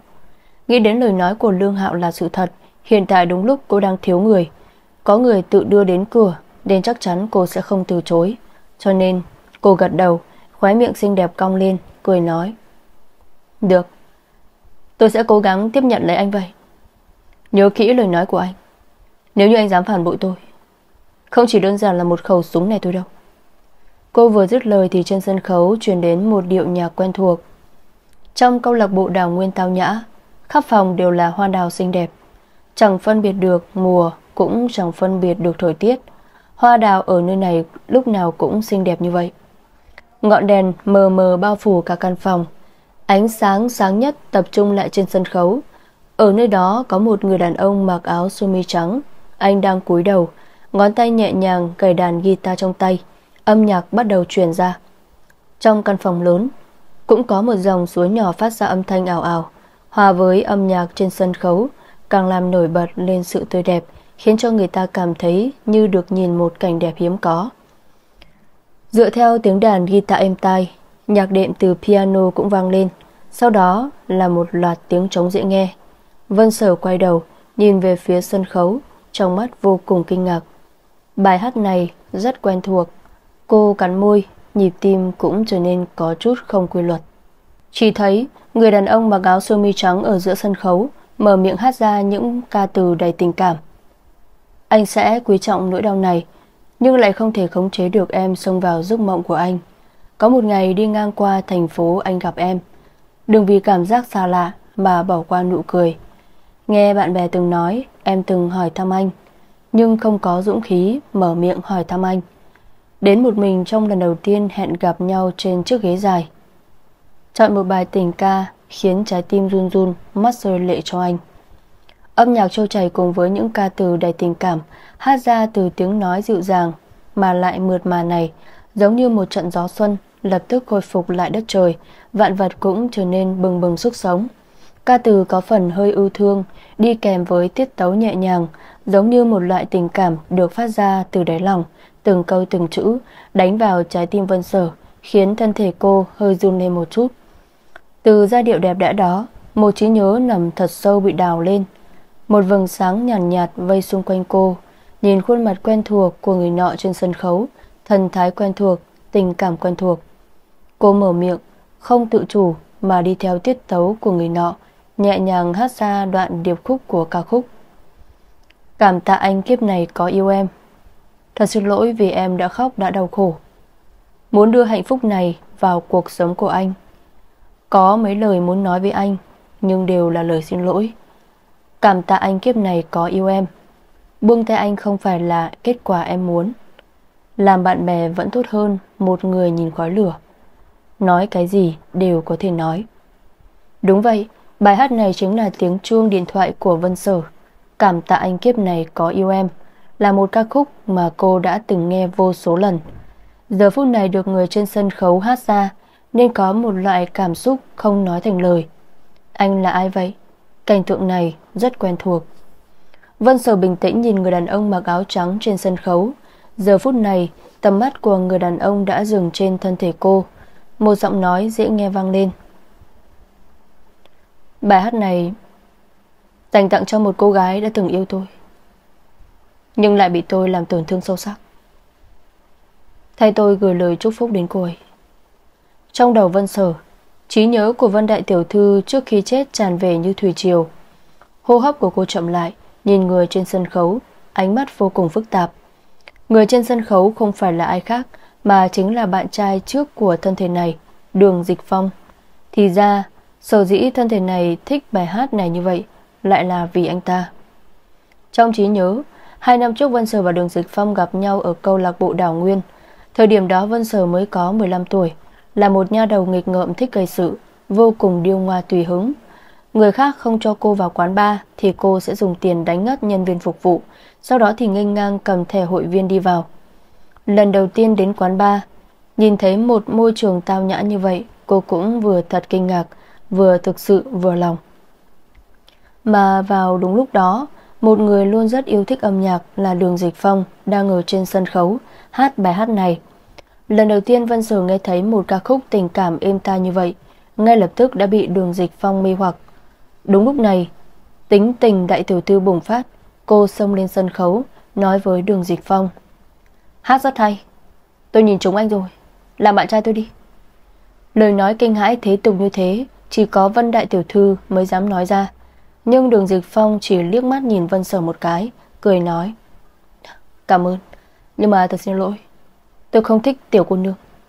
Nói xong, đường dịch phong ôm lấy đàn guitar rời khỏi sân khấu. Vân Đại Tiểu Thư lớn như vậy rồi, Nhưng luôn được người ta nâng niu trong lòng bàn tay. Nào có ai dám dùng ánh mắt lạnh lùng như vậy nhìn cô. Cô nhìn bóng lưng đường dịch phong, Lớn tiếng kêu lên, Anh cứ chờ xem, Rồi một ngày nào đó, Tôi sẽ khiến anh phải giống như ca khúc này. Cảm tạ tôi kiếp này đã từng yêu anh Sau hôm ấy bên người đường dịch phong có nhiều thêm một cái đuôi. Cả ngày Vân Sở không có việc gì là đều quấn quýt bên người đường dịch phong. Chẳng những không thể khiến đường dịch phong yêu cô, ngược lại còn khiến được dịch phong bắt đầu trốn tránh cô, chán ghét cô. Cho đến nửa năm sau, khi đường dịch phong gặp phải một đám côn đồ, Vân Đại Tiểu Thư không để ý đến sự an toàn của bản thân, tiến lên đỡ một phát súng thay anh. Lúc đó đường dịch phong nhìn Vân Đại Tiểu Thư với ánh mắt khác xưa, rồi từ đó bắt đầu tiếp nhận vị Đại Tiểu Thư tùy hứng này. Khi Vân Sở phục hồi lại tinh thần thì trên sân khấu đã yên tĩnh trở lại. Đường dịch phong với chiếc áo sơ mi trắng, ánh mắt sáng ngời dừng trên người Vân Sở, buông đàn guitar trong tay ra, bước từng bước về phía cô.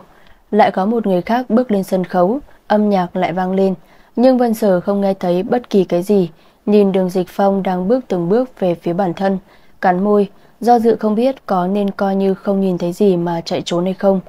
Dù sao chuyện giữa hai người bọn họ đã là quá khứ, ngựa tốt cũng không nhai lại cỏ. Huống hồ hiện tại cô đã không phải là Vân Sở lúc trước nữa. Cô đối với người đàn ông này thực sự không có một chút thiện cảm nào cả.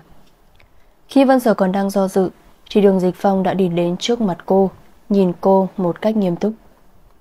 Sở sở, có nhớ không? Lúc trước em từng nói, một ngày nào đó anh sẽ giống với những ca từ trong ca khúc này. Cảm tạ em đã từng yêu anh. Hiện tại anh muốn nói với em. Em nói đúng rồi. Nếu có thể, anh nhìn Vân Sở một cách say đắm. Mỗi một câu một chữ đều vô cùng nghiêm túc, vô cùng êm tai. Nhưng Vân Sở lại sợ đến mức phải lập tức ngắt lời anh, cười nói. Cái kia, đừng thiếu. Anh làm đối tượng rồi. Giữa chúng ta đã sớm kết thúc. Vừa đúng lúc này, Kim Lan Nhược với lớp trang điểm dày đậm dẫm trên đôi giày cao gót 10cm. Thờ phì phì bước đến, trừng mắt nhìn Vân Sở. Không nói hai lời, nâng tay tát cô một cái tát. Tiện nhân, Dịch Phong đã không cần cô. Cô còn quấn quýt lấy anh ấy không tha. Vân Sở không có sự chuẩn bị. Sau khi trúng một cái tát của Kim Lan Nhược, trên khuôn mặt trắng nõn truyền đến cảm giác nóng bừng đau rát. Cô cắn môi, lạnh lùng nhìn Kim Lan Nhược, khóe miệng lộ ra một nụ cười nguy hiểm. Kim Lan Nhược, có bản lĩnh cô đánh thêm một lần nữa xem. Mẹ, con mắt nào của cô ta nhìn thấy cô quấn quýt lấy đường dịch phong vậy? Hiện tại người bị quấn quýt lấy là Vân Sở cô mới đúng chứ. Vân Sở nổi giận, cả người tỏa ra hơi thở lạnh lùng. Kim Lan Nhược bị dáng vẻ của Vân Sở làm cho hoảng sợ, nhưng nhanh chóng bình tĩnh lại, cười khinh thường nói: "Được, Hôm nay tôi sẽ đánh chết một tiện nhân không biết xấu hổ như cô. Dứt lời, giơ tay rồi lại hạ xuống. Chỉ có điều có một động tác còn nhanh hơn so với cô ta. Chỉ nghe thấy Bốp bốp bốp bốp. Bốn cái tát vang lên thành bốn tiếng, Khiến toàn bộ đào nguyên đều trở nên yên tĩnh. Tầm mắt mọi người đều dừng lại trước quầy ba Kinh ngạc nhìn cảnh tượng kia. Vân sở thổi thổi bàn tay nhỏ bé Có chút đau đớn Nhìn Kim Lan Nhược đang ngây ra như phỗng Một giọng nói trong trèo đi ra từ trong miệng. Bốn cái tát này. Cái thứ nhất Để trừng phạt cô bảo tôi là tiện nhân. Cái thứ hai, cái thứ ba Là để trả lại cho cô gấp đôi. Còn cái thứ tư Thật ngại quá. Lỡ tay. À, Kim Lan Nhược phát ra một loạt tiếng kêu như đang giết heo vậy. Những lớp phấn thật dày rơi ầm ầm xuống Lộ ra khuôn mặt bị hủy dung nhìn qua vô cùng chấn động. Dưới ánh đèn mờ mờ, trong đảo nguyên vốn dĩ đang yên tĩnh, lại bộc phát ra một loạt tiếng gào rất lớn. Vân sở, tôi tiện nhân, tôi liều mạng với cô. Dường như Kim Lan Nhược đã trở nên điên cuồng, dương nanh múa vuốt đánh về phía Vân Sở. Nhưng mà không đợi đến khi Vân Sở phải động thủ, đường dịch phong vốn dĩ đang đứng ngây ra như phỗng, đã kịp thời kéo Kim Lan Nhược lại. Kim Lan Nhược, đủ rồi, cô nháo đủ chưa? Kim Lan Nhược cắn môi. Nước mắt nóng bỏng chảy ra khỏi hốc mắt. Gương mặt vốn dĩ đã bị hủy dung, Nay lại bị ăn bốn cái tát của Vân Sở Trở nên vô cùng dữ tợn. Đường Dịch Phong, Anh có còn là đàn ông không? Cô ta đánh tôi, Cô ta đánh tôi. Anh đừng quên, Tôi mới là người phụ nữ của anh. Đủ rồi, Kim Lan Nhược. Sao lòng dạ của cô lại có thể độc ác như thế? Tôi đúng là bị mù rồi, Nên mới có thể tin tưởng câu chuyện hoang đường của cô để cho sở sở phải nhận tổn thương lớn như vậy. Đường dịch phong dùng sức kéo Khiến Kim Lan Nhược ngã ngồi trên mặt đất. Anh cũng không đến kéo cô dậy, Chỉ lạnh lùng nhìn cô. Tôi và Sở Sở đã hoàn toàn không còn quan hệ. Cô còn chưa vừa lòng hay sao? Chẳng lẽ muốn ép tôi đến mức Ngay cả làm bạn của cô ấy cũng không được nữa hay sao? Văn Sở đặt hai tay trước ngực, Miễn cưỡng ngồi trên quầy ba dáng vẻ như đang xem kịch vui. Anh nói cái gì? Đường dịch phong. Thì ra trong mắt của anh Tôi chính là một người không thể chịu nổi như vậy sao Nếu như đã như vậy Vì sao lúc trước anh còn muốn lên giường với tôi Lời nói của Kim Lan Nhược khiến tất cả mọi người ở đây đều phải ngây ngần cả người. Nhất là Vân Sở, kinh ngạc nhìn bọn họ, trong mắt ngập tràn ánh sáng. Thì ra đường dịch phong này đã từng xài qua Kim Lan Nhược. Khó có thể trách vì sao anh ta lại không có mắt nhìn, lại đi lựa chọn Kim Lan Nhược như vậy. Sắc mặt đường dịch phong trong nháy mắt trở nên tái nhợt, cắn môi nói. Đúng như ý cô nói. Nếu như không phải do cô chuốc say tôi thì tôi làm sao có thể coi cô là sổ sở Anh nói xong Vẻ mặt khẽ đỏ lên Bất an liếc mắt nhìn Vân Sở một cái Khắp người Vân Sở nổi đầy da gà Khóe miệng có rút Nghĩ thầm Tên đường dịch phong này Vậy mà dám có ý tưởng như vậy đối với bản thân cũng may Kim Lan Nhược này Cũng có ý với đường dịch phong Nếu không cái thân thể này của cô Có khả năng đã sớm bị đường dịch phong dẫm lên rồi Nhìn thấy dáng vẻ thoải mái của cô một bóng dáng màu đỏ ngồi cách bọn họ không xa, đột nhiên cười lạnh. Ánh mắt độc ác nhìn Vân Sở. Cô vẫy vẫy tay, lập tức từ phía sau có một người tiến lên hỏi. Chỉ thấy cô cúi đầu nói một câu nào đó bên tay người kia. Người nọ kinh ngạc nhìn bóng dáng màu đỏ này, rồi sau đó vội vàng rời đi. Sau đó khi trở về trong tay người nọ đã nhiều hơn một bọc nhỏ và đưa cho cô gái mặc đồ đỏ đó.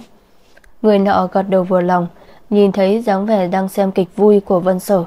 Đôi môi đỏ mọng của cô khẽ mở. Một giọng nói vô cùng êm tai Nhưng lại độc ác vang lên. Để xem cô còn có thể duy trì được dáng vẻ xem kịch vui đó đến khi nào. Vân Sở Ngược lại tôi muốn nhìn xem. Cô không sạch sẽ. Thì anh ấy có còn muốn cô hay không? Vân Sở nhìn Kim Lan Nhược và đường dịch phong, Kè đến người đi rất ở Mỹ, Đột nhiên cảm thấy không còn hứng thú, Duỗi thắt lưng. Nghĩ thầm tối nay không thăm dò được tin tức tốt nào, Vẫn nên đi về chút thì hơn. Cô xoay người, Định đi vòng qua hai người sát phong cảnh ngu ngốc này, Nhưng lại bắt gặp một bóng dáng quen thuộc khác. Người mới xuất hiện mặc một chiếc váy bó sát màu đỏ như lửa với tính chất thượng hạng của chiếc váy này, Nên thể hiện ra được một cách hoàn mỹ toàn bộ thân hình vốn dĩ đã hoàn hảo của cô. Dáng người lồi lõm có trước sau vô cùng xinh đẹp. Mái tóc xuân màu nâu xinh đẹp được buộc gọn sau đầu. Trên gương mặt trắng nõn như ngọc kia Có một cặp mắt hàm chúa ý cười. Đôi môi gợi cảm đầy đặn phun ra một giọng nói động lòng người. Đây không phải là Vân Sở muội muội sao? Không thể ngờ là cô cũng đến đây. Chúng ta thực sự có duyên nha muội muội. Cô và cô gái có quan hệ này từ khi nào vậy? Vân Sở không thể không bội phục sự bình tĩnh của cô ta. Rõ ràng là cảnh tượng tình địch gặp mặt tức đỏ con mắt. Vậy mà cứ thế bị cô ấy làm cho như là chị em tốt gặp nhau vậy. Không sai. Cô gái có dáng vẻ vô cùng xinh đẹp này chính là Triệu Tiểu Thư, Triệu Nhược Nghiên Nếu đối phương đã gọi bản thân một tiếng muội muội Thì Vân Sở cũng không khách khí Nở một nụ cười tươi như hoa Cười nói với cô. Thì ra là Triệu Tỷ Tỷ, Thật khéo nha. Triệu Nhược Nghiên cười xinh đẹp, Trong tay bưng hai ly rượu, Nói với Vân Sở Đúng vậy, Hôm nay có thể gặp mặt muội muội ở đây. Âu cũng là một loại duyên phận. Nào, chúng ta cùng nhau uống một ly. Uống một ly? Cô ta tốt bụng như vậy sao? Lại đi mời bản thân uống rượu ư? Khóe miệng Vân Sở khẽ cong lên, Nhìn Triệu Nhược Nghiên đưa một ly kê vĩ tiểu ra trước mặt Phát hiện những người xung quanh vốn dĩ đang nhìn đường dịch phong và Kim Lan Nhược, Thì lúc này lại đặt ánh mắt lên trên người cô. Xem ra đêm nay nếu không uống ly rượu này Thì chỉ sợ sẽ bị khinh thường. Ngẫm lại, cô cũng không có cái gì mà phải sợ. Không phải chỉ là một ly rượu thôi sao? Cô cũng không tin Triệu Nhược Nghiên này Có thể làm ra cái gì với cô Trước mặt công chúng như thế này. Nhưng cẩn thận vẫn hơn. Tay Văn Sở tiếp nhận ly rượu đỏ Bên người Triệu Nhược Nghiên đó là ly rượu mà Triệu Nhược Nghiên Muốn để lại cho bản thân uống. Tôi vẫn thích uống rượu đỏ hơn. Không biết tỷ tỷ có thể bỏ thứ mình yêu thích hay không? Vân Sở cười hồn nhiên, Khiến mọi người xung quanh phải hít thở không thông. Trong mắt Triệu Nhược Nghiên trượt lóe lên một tia sáng lạnh lùng. Sàng khoái đưa ly rượu đỏ cho Vân Sở, Sau đó nâng ly kê vĩ tiểu trong tay, Chạm nhẹ vào cái ly của Vân Sở. Vì duyên phận của chúng ta Cạn đi. Duyên phận. Giữa các cô có duyên phận gì đáng nói chứ? Khóe miệng Vân Sở cong lên Lộ ra một nụ cười nhàn nhạt, nhạt Mời. Nhìn Triệu Nhược Nghiên ngửa đầu Uống đi rượu đó vào trong. Vân Sở mới nhíu mày Há miệng nhấp một ngụm rượu Sau đó thì uống cạn trong một ngụm. Cô muốn để Triệu Nhược Nghiên biết Vân Sở cô không phải là kẻ đầu đường xó chợ Nên hoàn toàn không cần phải sợ cô ta. Nhưng mà cô không ngờ đến sự phô trương như vậy Là khiến cô phải nhận sự đau khổ. Trên khuôn mặt Triệu Nhược Nghiên vẫn tươi cười như cũ, Đứng sát bên cạnh Vân Sở, Lôi kéo cô nói chuyện. Nhìn qua thực sự giống như một tỷ tỷ thân thiết vậy, Nhưng mà trong lòng Vân Sở lại có một dự cảm xấu dâng lên. Triệu Nhược Nghiên là tình địch của bản thân, Cô hoàn toàn hiểu rõ điều đó. Lúc này lại đột nhiên xuất hiện, Tuyệt đối có âm mưu, Cô cần phải đề phòng hơn. Nhưng mà hơn 10 phút sau Triệu Nhược Nghiên nhận được một cú điện thoại Sau đó thì rời đi Cho đến khi cô ta rời đi Vân Sở không hề xảy ra chuyện gì Khiến cô không khỏi cảm thấy mình quá đa nghi Suy nghĩ quá nhiều Lúc này Đường Dịch Phong và Kim Lan Nhược cũng đã cãi nhau xong. Kim Lan Nhược vô cùng đau khổ chạy ra khỏi đảo nguyên. Còn lại đường Dịch Phong nắm chặt hai tay, nhìn bóng lưng Kim Lan Nhược rồi đi, trong lòng rất phức tạp. Đúng lúc này, đột nhiên Vân Sở cảm thấy hoa đầu chóng mặt. Cô ngồi trên ghế tựa cao cao, thân thể khẽ lung lay, suýt nữa thì ngã từ trên ghế xuống. Một đôi tay ôm chặt lấy lưng của cô, ổn định lại thân thể cho cô. Vân Sở lắc lắc đầu Nói một câu. Cảm ơn. Sau đó thì chuẩn bị rời đi. Cô có một cảm giác rất lớn rằng Nhất định vừa rồi Triệu Nhược Nghiên đã làm cái gì đó với cô. Cô không thể tiếp tục vào lại chỗ này. Nhưng mà người phía sau lại giữ cô lại Vội vàng hỏi. Sở sở Em làm sao thế? Vân Sầu nhìn cũng không thèm nhìn đường dịch phong, Chỉ khẽ cười nói. Tôi không sao, Không còn sớm nữa, Tôi đi về trước. Cô nói xong thì vội vàng muốn rời đi. Nhưng vừa mới đi được hai bước Thì thân thể vô lực ngã xuống, Đường dịch phong lại tiến lên Đỡ lấy cô. Sờ sờ, Có phải có chỗ nào không thoải mái đúng không? Một bàn tay lành lạnh Đặt lên cái chán của cô. Giọng nói dễ nghe của anh ta truyền vào trong tay cô. Sóc mặt của em rất không tốt.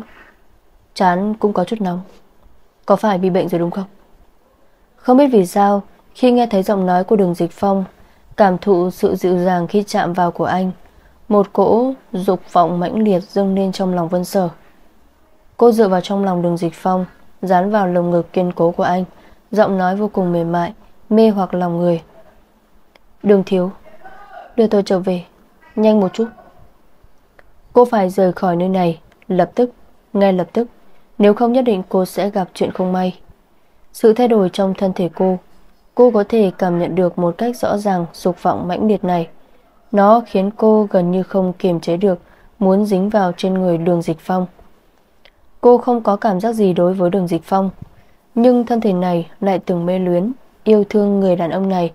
Hơn nữa với tác dụng của thuốc, cho dù cô có kiên cường đến đâu thì cũng có chút không thể chịu nổi được nữa.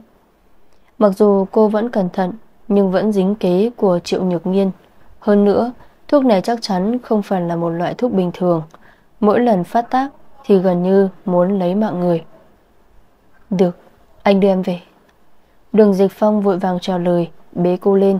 Chuẩn bị rời đi Thì lại cảm giác được trên ngực đột nhiên ấm áp cúi đầu mới phát hiện, Vân Sở đang dơ khuôn mặt nhỏ nhắn, Đỏ hồng lên, Hôn vào cổ của anh. Ầm. Đột nhiên đầu óc của đường dịch phong vang lên những tiếng ong ong. Cảm giác ấm áp trên ngực khiến anh mất đi khả năng suy nghĩ. Theo bản năng ôm chặt lấy Vân Sở Nâng đầu cô lên, Nhìn vào ánh mắt quyến rũ của cô, Hô hấp dồn dập, Hôn lên đôi môi đỏ mọng kiểu diễm của cô. Vân Sở đang trong cơn ý loạn tình mê, Chỉ cảm thấy đột nhiên thân thể trở nên nhẹ bẫng. Bất kỳ lúc nào cũng có thể bay lên. Thân thể rắn chắc bên cạnh Tỏa ra một hương vị Khiến cô cảm thấy vô cùng quen thuộc. Cô gần như không hề suy nghĩ Mà tiếp nhận nụ hôn này. Nóng quá. Thân thể giống như bị hỏa thiêu. Toàn thân đều khô nóng, Bất an. Thân thể giống như đang bị cái gì đó khống chế. Hô hấp dồn dập, Tay bắt đầu làm loạn trên người đường dịch phong. Cảm giác này thật xa lạ. Nhưng mặc dù xa lạ thì cô cũng biết ý nghĩa của chuyện này là gì. Quả nhiên, Đột nhiên Triệu Nhược Nghiên xuất hiện Mời cô uống rượu không chỉ đơn giản như vậy. Cho dù cô có cố gắng đề phòng, Nhưng vẫn trúng phải kế sách khéo léo của đối phương. Chẳng lẽ đây chính là thông minh quá, Bị thông minh hại trong truyền thuyết hay sao? Sợ hãi Triệu Nhược Nghiên động tay động chân vào ly rượu của bản thân. Cô cự tuyệt cái ly mà Triệu Nhược Nghiên đưa đến, Mà lựa chọn cái ly khác. Kết quả lại vẫn bị trúng kế. Đáng chết Vân Sở cố gắng duy trì lý trí. Nhưng trong lúc hôn môi nồng cháy với đường dịch phong Thì ý thức từ từ mất đi. Không, không thể. Khóe mắt Vân Sở đột nhiên chảy ra một hàng nước mắt. Trong đầu dường như hiện ra khuôn mặt của một người khác. Đó là gương mặt thuộc loại yêu nghiệt của Thượng Quan Triệt. Thượng Quan Triệt, Đại Thúc Anh ở nơi nào? Tại sân bay, người đến người đi. Mặc dù đã là buổi tối Nhưng vẫn vô cùng náo nhiệt. Một bóng dáng màu tím đi xuống từ trên máy bay, Vội vã bước ra khỏi sân bay, Lên một chiếc xe màu đen. Thiếu ra Giờ về nhà sao? Lái xe chính là Tiểu An, Lái xe kiêm cấp dưới đắc lực của Thượng Quan Triệt. Anh không chỉ là trợ thủ đắc lực trong quân đội của Thượng Quan Triệt, Mà còn là con trai của lão quản gia trong nhà anh, Cho nên bình thường anh đều gọi Thượng Quan Triệt là thiếu gia. Thượng quan triệt nhíu mày, Nhớ đến cuộc gọi của Thượng quan Duệ lúc trước Khóe miệng khẽ cong lên Lắc đầu nói. Đến đảo Nguyên. Vâng, thiếu gia. Tiểu An nhìn thấy khóe miệng tươi cười của Thượng quan triệt Chỉ biết là anh lại nhớ đến Vân Tiểu Thư rồi. Những năm gần đây Cũng chỉ có mỗi Vân Tiểu Thư Mới có thể khiến thiếu gia lộ ra biểu cảm như vậy. Bởi vì quan hệ trong gia đình Nên từ nhỏ thiếu gia đã rất hiểu chuyện. Trong khi tất cả mọi người đang chơi đùa thì anh ngồi đọc sách một mình trong thư phòng. Trong khi một đám người bọn họ đang học sơ trung, Thì anh đã học xong tất cả sách giáo khoa trung học. Đợi đến khi mọi người học xong trung học, Thì anh đã học xong chương trình đại học. Bởi vì anh có trí thông minh trời phú, Lại vô cùng chăm chỉ. Sau khi tốt nghiệp trung học, Thì vào quân doanh, Bắt đầu nhận huấn luyện trong quân đội. 2-3 năm sau trở ra, Anh ra nước ngoài làm nghiên cứu sinh. Hiện tại anh mới 25 tuổi, Nhưng đã là một tiến sĩ nổi tiếng Ở đại học nước ngoài. Ngay từ đầu Tiểu An đã không hiểu Thiếu gia có một gia đình tốt như vậy, Vì sao còn phải liều mạng như vậy? Nhưng mà sau này anh mới từ từ hiểu ra, Thiếu gia làm như vậy Hoàn toàn đang dùng sức lực của một người Để chống đỡ toàn bộ gia đình này. Ở bên ngoài thượng quan gia thanh danh hiển hách, Nhưng chỉ có người bên trong mới biết sức mạnh của nó Đã không còn lớn như lúc trước nữa rồi. Năm đó ông nội bà nội thượng quan triệt Gây dựng được cả thiên hạ, Nhưng hiện tại đã sớm bị chia cắt. Thế lực của thượng quan gia bọn họ đã suy yếu đi rất nhiều. Mặc dù cha thượng quan triệt luôn luôn nỗ lực chống đỡ, nhưng vẫn không đủ. Cho nên, thượng quan triệt mới có thể trưởng thành sớm như vậy. Chỉ có trưởng thành mới có thể gánh được gánh nặng của gia đình. Thật ra thì thượng quan triệt cũng là một người rất đáng thương. Rõ ràng là một người ưu tú như vậy, Nhưng lại mất đi nhiều sự vui vẻ mà người bình thường đều có thể cảm nhận được. Tiểu An yên tĩnh lái xe không bao lâu sau đã đến câu lạc bộ đảo Nguyên. Xe dừng lại, Đã thấy Thượng Quan Triệt nhắm mắt ở phía sau, Ngồi trên xe trước mắt được một lúc, Không khỏi cảm thấy có chút đau lòng. Bởi vì cự tuyệt triệu tiểu thư con gái của triệu thủ trưởng Mà mấy lần thiếu gia bị triệu thủ trưởng soi mói. Cái này chưa là gì. Một tuần trước còn sắp xếp cho thiếu gia một vài công việc tào lao, Khiến thiếu gia phải chạy khắp thế giới. Cũng không biết do năng lực làm việc của thiếu gia quá mạnh hay là do trong lòng anh quá mong nhớ Vân Tiểu Thư mà vốn dĩ phải tốn 10 ngày để hoàn thành công việc mà anh có thể hoàn thành trong vòng một tuần. Hơn nữa, khi công việc vừa được hoàn thành thì anh giống như ngựa không dừng vó, ngồi trên máy bay trở về.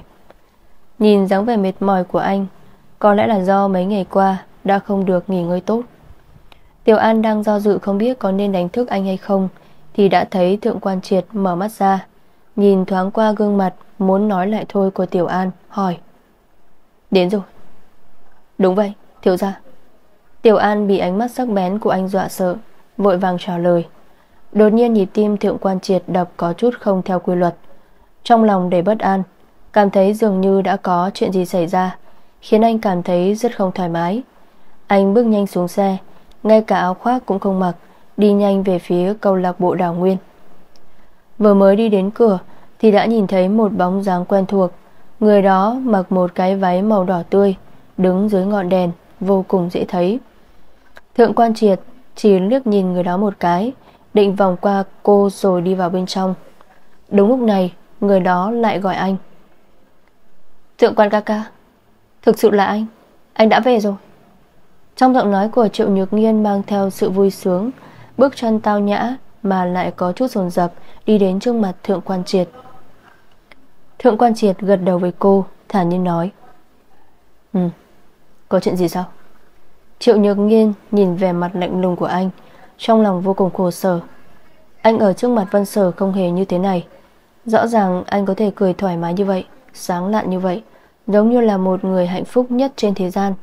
Nhưng vì sao, Khi đến trước mặt cô, Anh lại vĩnh viễn lạnh nhạt như vậy, Thậm chí còn vô cùng lạnh lùng? Triệu Nhược Nghiên cảm thấy thực sự không cam tâm. Lúc còn nhỏ khi cô biết đến Thượng Quan Triệt trong một bữa tiệc Có lẽ anh đã không còn nhớ rõ cô. Nhưng cô đã coi việc trở thành vợ tương lai thành mục tiêu duy nhất của mình. Cô cố gắng học tập Cố gắng để bản thân trở nên tao nhã, cao quý. Thậm chí cô còn vào cả quân đội Tự đặt mình vào trong hoàn cảnh của người khác Để hiểu thêm về những nỗi khổ mà anh phải chịu qua. Cô vì anh mà trả giá nhiều như vậy. Thật vất vả mới có thể khiến cha đề cập hôn sự với anh. Mẹ anh cũng đã đồng ý. Chỉ thiếu một chút nữa Thì cô có thể quang minh chính đại Trở thành người phụ nữ của anh. Trở thành người mà anh yêu nhất. Thì lại bị một tiểu nha đầu đột nhiên xuất hiện phá hủy. Cô có thể cam tâm Thì mới là lạ đó. Triệu Nhược Nghiên đứng chặn trước mặt Thượng Quan Triệt. Trên mặt là một nụ cười nhàn nhạt, nhạt Mặc dù trong lòng hận muốn chết Nhưng cô vẫn biểu hiện vô cùng tao nhã. Thượng quan ca ca, Đã muộn thế này, Anh còn định đi uống rượu có đúng hay không? Hôm nay có duyên gặp mặt ở đây, Không bằng chúng ta cùng nhau đi uống một chén đi. Nói xong Triệu Nhược Nghiên lôi kéo Thượng Quan Triệt Đi về hướng ngược lại đảo Nguyên, Đến Hải Cáp. Hải Cáp là một nửa còn lại Của câu lạc bộ đảo Nguyên, Bên trong giống với các quán bar khác, Có đèn flash chói mắt có DJ chơi nhạc cùng với một đám ăn chơi chắc táng điên cuồng ở trong đó. Hoàn toàn trái ngược với sự thanh tĩnh và ấm áp của đảo Nguyên. Bên trong hải các vô cùng náo nhiệt, xa hoa đổi trụy. Thượng quan triệt nhíu mày, bỏ tay triệu nhược nghiên ra, thản nhiên nói. Thật có lỗi, triệu tiểu thư.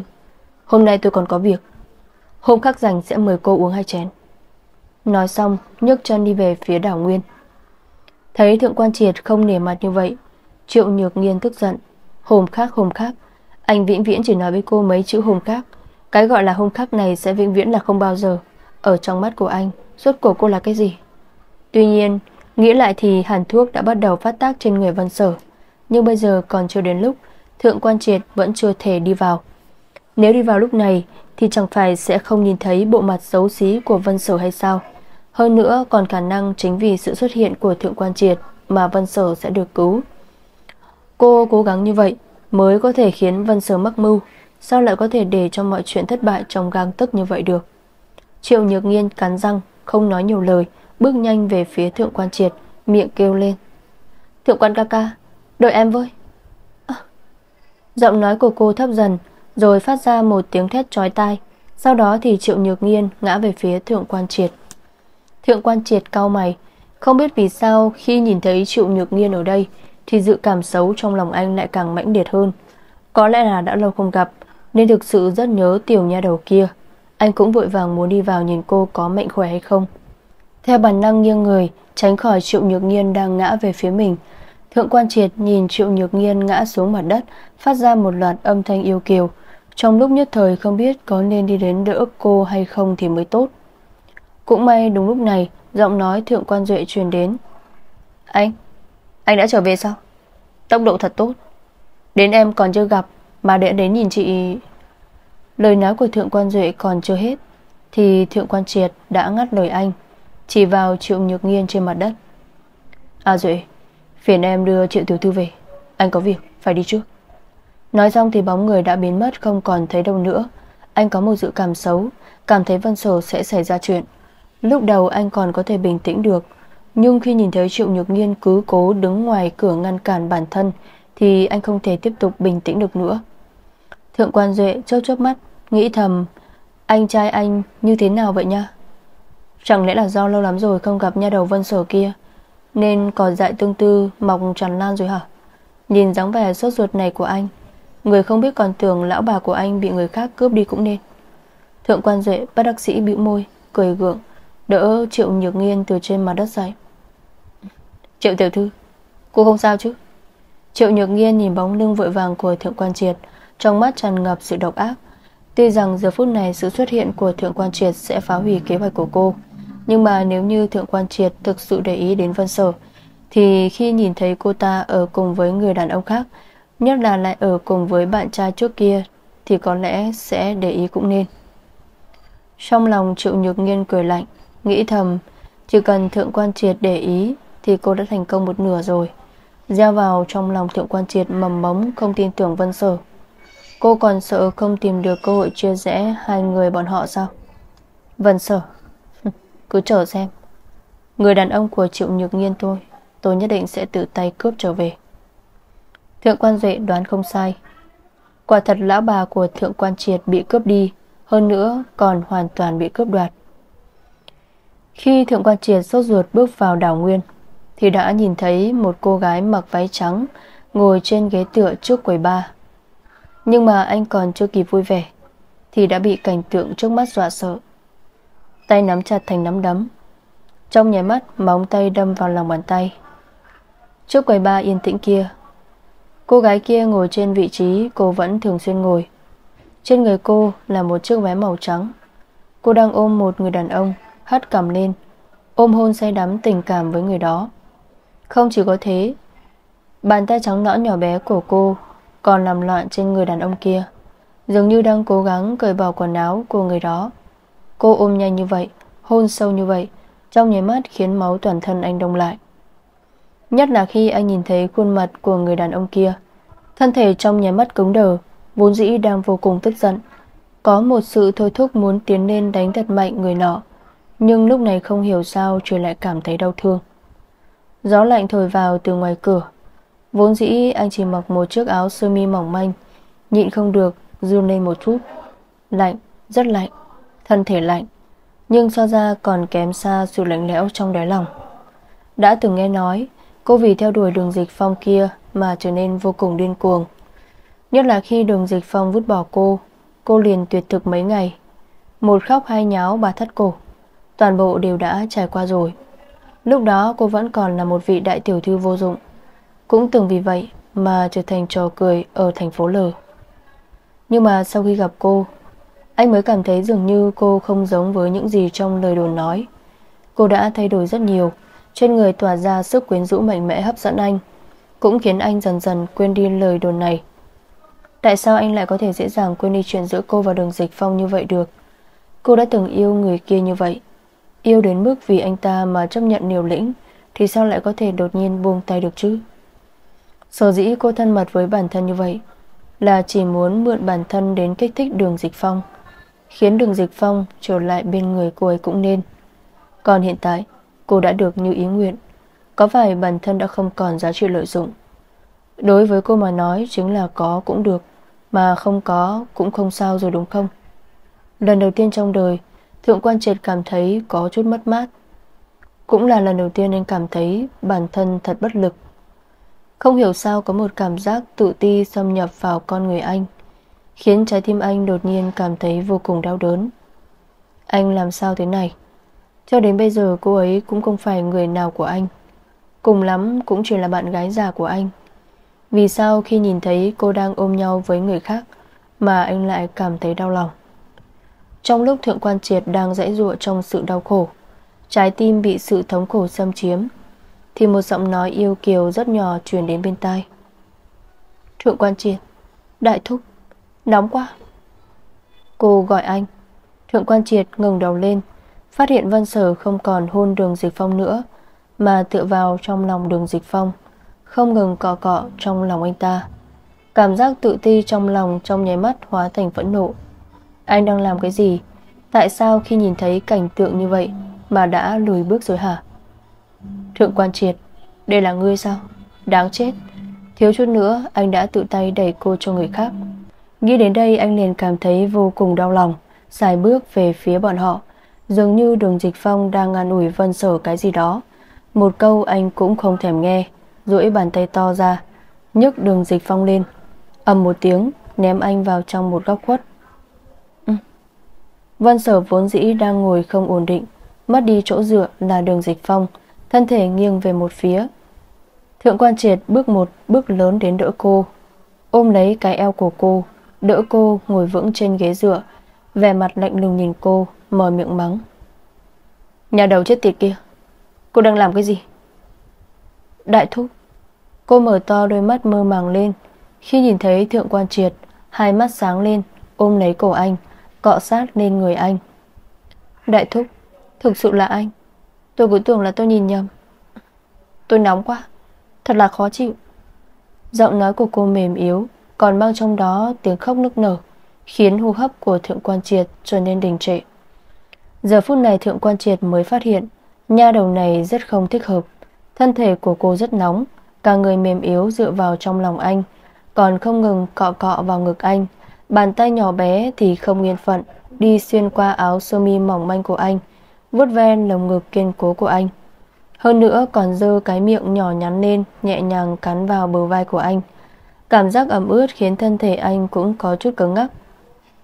Cô không phải là loại người tùy tiện, Sao có thể ở một nơi công cộng Làm ra chuyện mất mặt như vậy? Trước kia cho dù anh chỉ hôn cô một cái thôi Nhưng cô cũng đã náo với anh cả buổi sáng, Mặt còn đỏ như mông khỉ. Hiện tại sao lại có thể không có việc gì Mà hôn môi với đường dịch phong ở trong này? Hơn nữa còn bày ra dáng vẻ phóng đãng như vậy chứ? Đáng chết. Vậy mà đến lúc này anh mới phát hiện ra cô có vấn đề. Cô nâng khuôn mặt nhỏ nhắn đỏ bừng lên, Nhìn ánh mắt si mê của cô, Trái tim thượng quan triệt có rút đau đớn. Nhà đầu, Cô làm sao vậy? Tay thượng quan triệt lành lạnh, Nhẹ nhàng vuốt ve mặt cô, Cố gắng khiến cô tỉnh táo lại. Quả thật Vân Sở có tỉnh táo lại. Nhìn thấy ánh mắt sốt ruột của thượng quan triệt, Cắn môi, Trong mắt tràn ngập nước mắt. Đại thúc, Tôi bị bỏ thuốc. Tôi thực sự rất khó chịu. Nhưng mà sự tỉnh táo của cô Cũng chỉ có thể duy trì trong vài giây. Loại thức này quá bá đạo. Cô nhanh chóng dựa vào trong lòng thượng quan triệt, Không ngừng dùng thân thể cọ cọ, Trong miệng kêu lên. Nóng quá, Thượng quan triệt, Thượng quan triệt, Cứu tôi.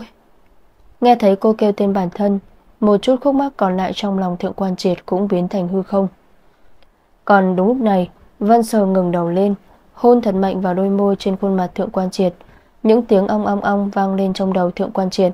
Anh ngơ ngác nhìn dáng vẻ mê người của cô, Suýt nữa thì không khống chế được. Nhưng anh biết, Hiện tại anh không thể làm điều gì sằng bậy, Nếu không sẽ chỉ càng khiến cô thêm khó chịu hơn.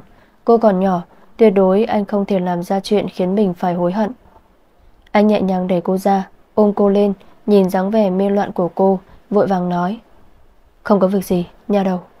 Có tôi ở đây thì không có việc gì nữa. Cô cố nhịn một chút. Tôi sẽ lập tức đưa cô đến bệnh viện.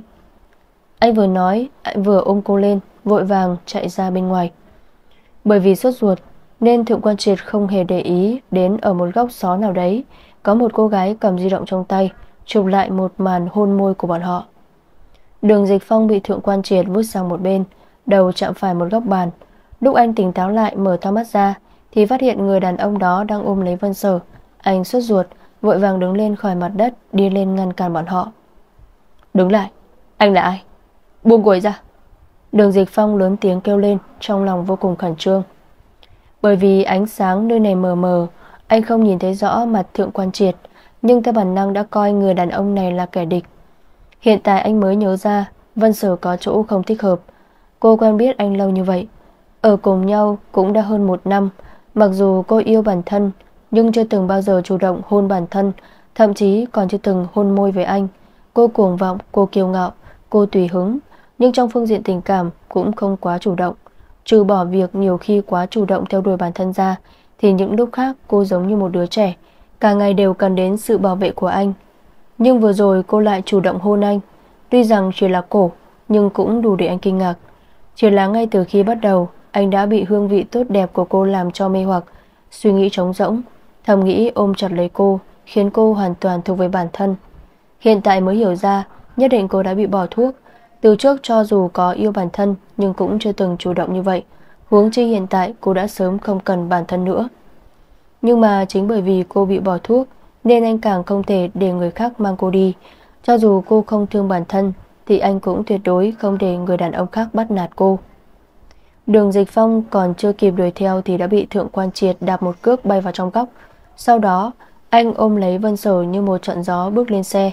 Từ đầu đến cuối không thèm liếc nhìn đường dịch phong lấy một cái. Tiểu An, lái xe. Thượng quan triệt ôm Vân Sở Vội vàng ra lệnh. Vâng, thiếu gia. Từ lúc chào đời cho đến nay Đây là lần đầu tiên Tiểu An nhìn thấy thượng quan triệt khẩn trương như vậy. Trời có sập xuống, Thì thượng quan triệt cũng không thèm liếc mắt lấy một cái. Vậy mà lần này lộ ra giọng nói hoàng sợ như vậy. Nhìn anh ôm Vân Sở trong lòng, Biết là đã xảy ra chuyện. Trong lòng Tiểu An cũng vội cuống cả lên, Vội vàng lái xe, hỏi. Thiếu gia, Vân Tiểu Thư bị sao vậy? Thượng quan triệt ôm chặt lấy người trong lòng bản thân, Còn phủ quần áo bản thân lên cho cô, Lạnh lùng nói. Cô ấy bị bỏ thuốc, Đến bệnh viện. Nói xong, nhớ mày, bổ sung thêm một câu. Đến bệnh viện liên gia. Tiểu An nhận ra được sự sốt ruột trong giọng nói của Thượng quan triệt. Cũng không dám hỏi lại cái gì, Chỉ là nhấn mạnh chân ga hơn, Hy vọng có thể đưa bọn họ đến bệnh viện nhanh một chút. Thượng quan triệt. Đôi môi đỏ mọng của Vân Sở khẽ nhích lên, Phát ra âm thanh mê người. Thượng quan triệt nhíu mày, Ôm chặt cô hơn, Dịu dàng vỗ vào lưng cô nói Tôi ở đây không có việc gì. Có tôi ở đây. Vân Sở mơ mơ màng màng mở to mắt Nhìn thượng quan triệt đang cao mày ở bên cạnh. Tay ôm chặt lấy cổ anh Hơi thở ấm áp của anh mang theo hương thơm ngát nhàn nhạt, nhạt Truyền vào trong thân thể cô. Cô cắn môi Một giọt nước mắt chảy xuống. Tuy rằng cô bị dược tính làm cho đầu óc không tỉnh táo Nhưng cô vẫn nhớ được những điều bản thân vừa mới làm. Cô vùi đầu vào trong lòng thượng quan triệt Vừa nức nở vừa nói. Thật xin lỗi Cô cũng không hiểu vì sao muốn nói xin lỗi. Nhưng nhớ đến khi anh ở đảo Nguyên, dáng vẻ nổi giận đùng đùng chạy đến, Thì cô lại cảm thấy khó chịu. Cô sao lại có thể không đúng mực như vậy chứ? Chỉ là một chút thuốc Mà có thể khiến cô không phân biệt được Nam Bắc, Cũng không để ý đến người đó là ai mà làm loạn. Cũng may thượng quan triệt đến đúng lúc, Nếu không, cô thực sự không biết mình sẽ làm ra chuyện gì nữa. Ngộ nhỡ Ngộ nhỡ cô thực sự xảy ra chuyện gì với đường dịch phong thì nhất định cô sẽ hối hận cả đời. Nghe thấy cô nhỏ giọng nói xin lỗi, Thân thể thượng quan triệt khẽ run lên một cái. Nhớ đến dáng vẻ của cô trong lòng đường dịch phong, Trong lòng vẫn có chút tức giận. Nhưng mà khi nhìn thấy dáng vẻ yếu ớt lúc này của cô, Sao anh có thể trách cứ cô được nữa chứ? Bàn tay thô giáp nhẹ nhàng, Mơn trớn cái chán chân bóng của cô. Thượng quan triệt cố gắng khống chế sự xúc động của bản thân, Hạ thấp giọng nói, Nhà đầu ngốc Tôi không trách cô. Cố chịu đựng thêm một chút nữa. Chút nữa là đến bệnh viện rồi.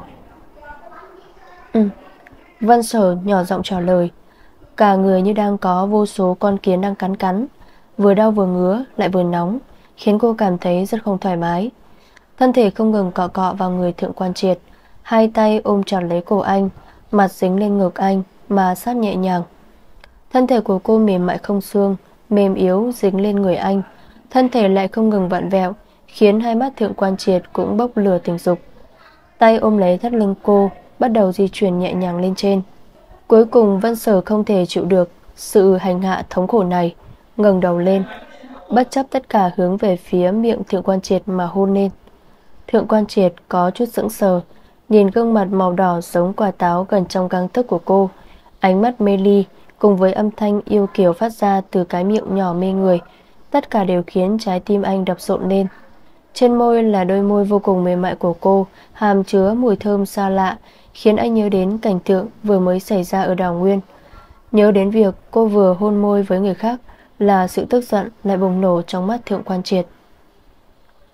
Anh đè lại đầu cô, Cảm thụ cảm giác tốt đẹp Mà đôi môi đỏ mọng không ngừng di chuyển của cô truyền đến, Há miệng, Nghênh hợp với nụ hôn ngốc nghếch của cô Đào khách thành chủ. Nghĩ đến vừa rồi, cô ở trong lòng người đàn ông khác Mà hôn môi say đắm Là sự tức giận của thượng quan triệt Lại không thể kiềm chế được. Anh ôm chặt lấy cô, Hôn thật sâu lên cái miệng nhỏ nhắn Đã sưng lên của cô, Giống như đang cố tẩy đi hương vị Của kẻ khác động lên trên cô, Hoàn toàn in lại dấu ấn của bản thân trên đó. Anh hôn một cách điên cuồng như vậy, Hoàn toàn mất đi sự bình tĩnh lúc trước. Anh hôn sâu như vậy, Giống như đang thưởng thức một cao lương mỹ vị.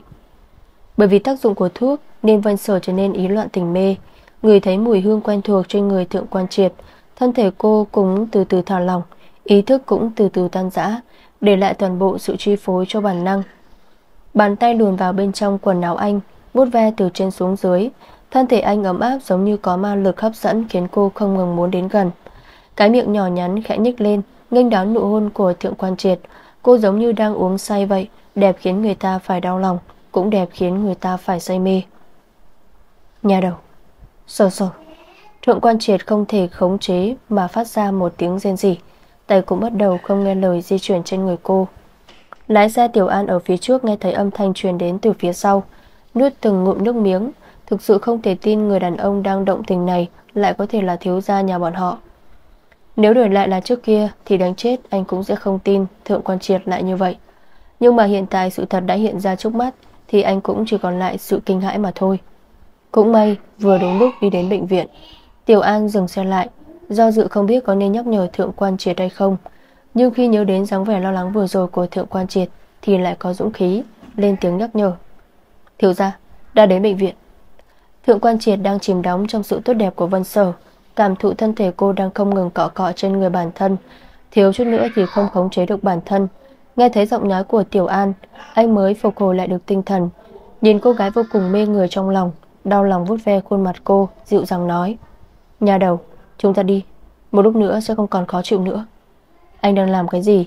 Nhà đầu còn chưa trưởng thành, Sao anh lại có thể có suy nghĩ như vậy chứ?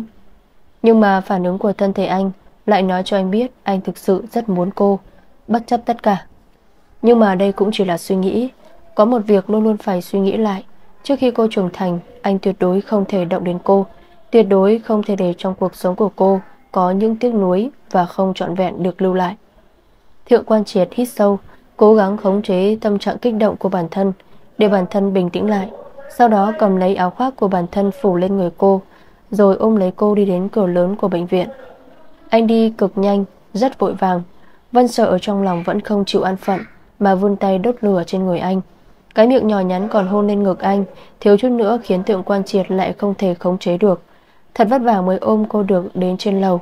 Thượng quan triệt cũng không kịp nói nhiều lời, Dùng chân đá văng cửa của văn phòng viện trưởng. Trong văn phòng viện trưởng, Điền Thanh Ngôn kết thúc một ngày làm việc, Đang thu dọn linh tinh, Chuẩn bị đi về nghỉ ngơi.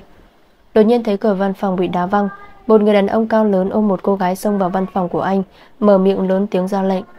Viện trưởng Liên, mau khám cho cô ấy. Nửa đêm xông vào phòng làm việc của anh Anh còn chưa nói gì Mà vừa đến lại còn kiêu ngạo như vậy. Điều này làm cho Liên Thanh Ngôn rất bất mãn. Khuôn mặt vốn dĩ đã lạnh lùng, Nay càng trở nên lạnh lùng hơn. Anh ngước mắt lạnh lùng nhìn người đàn ông không có lễ phép này nói, Thật có lỗi, Tôi đã tan tầm. Sờ sờ.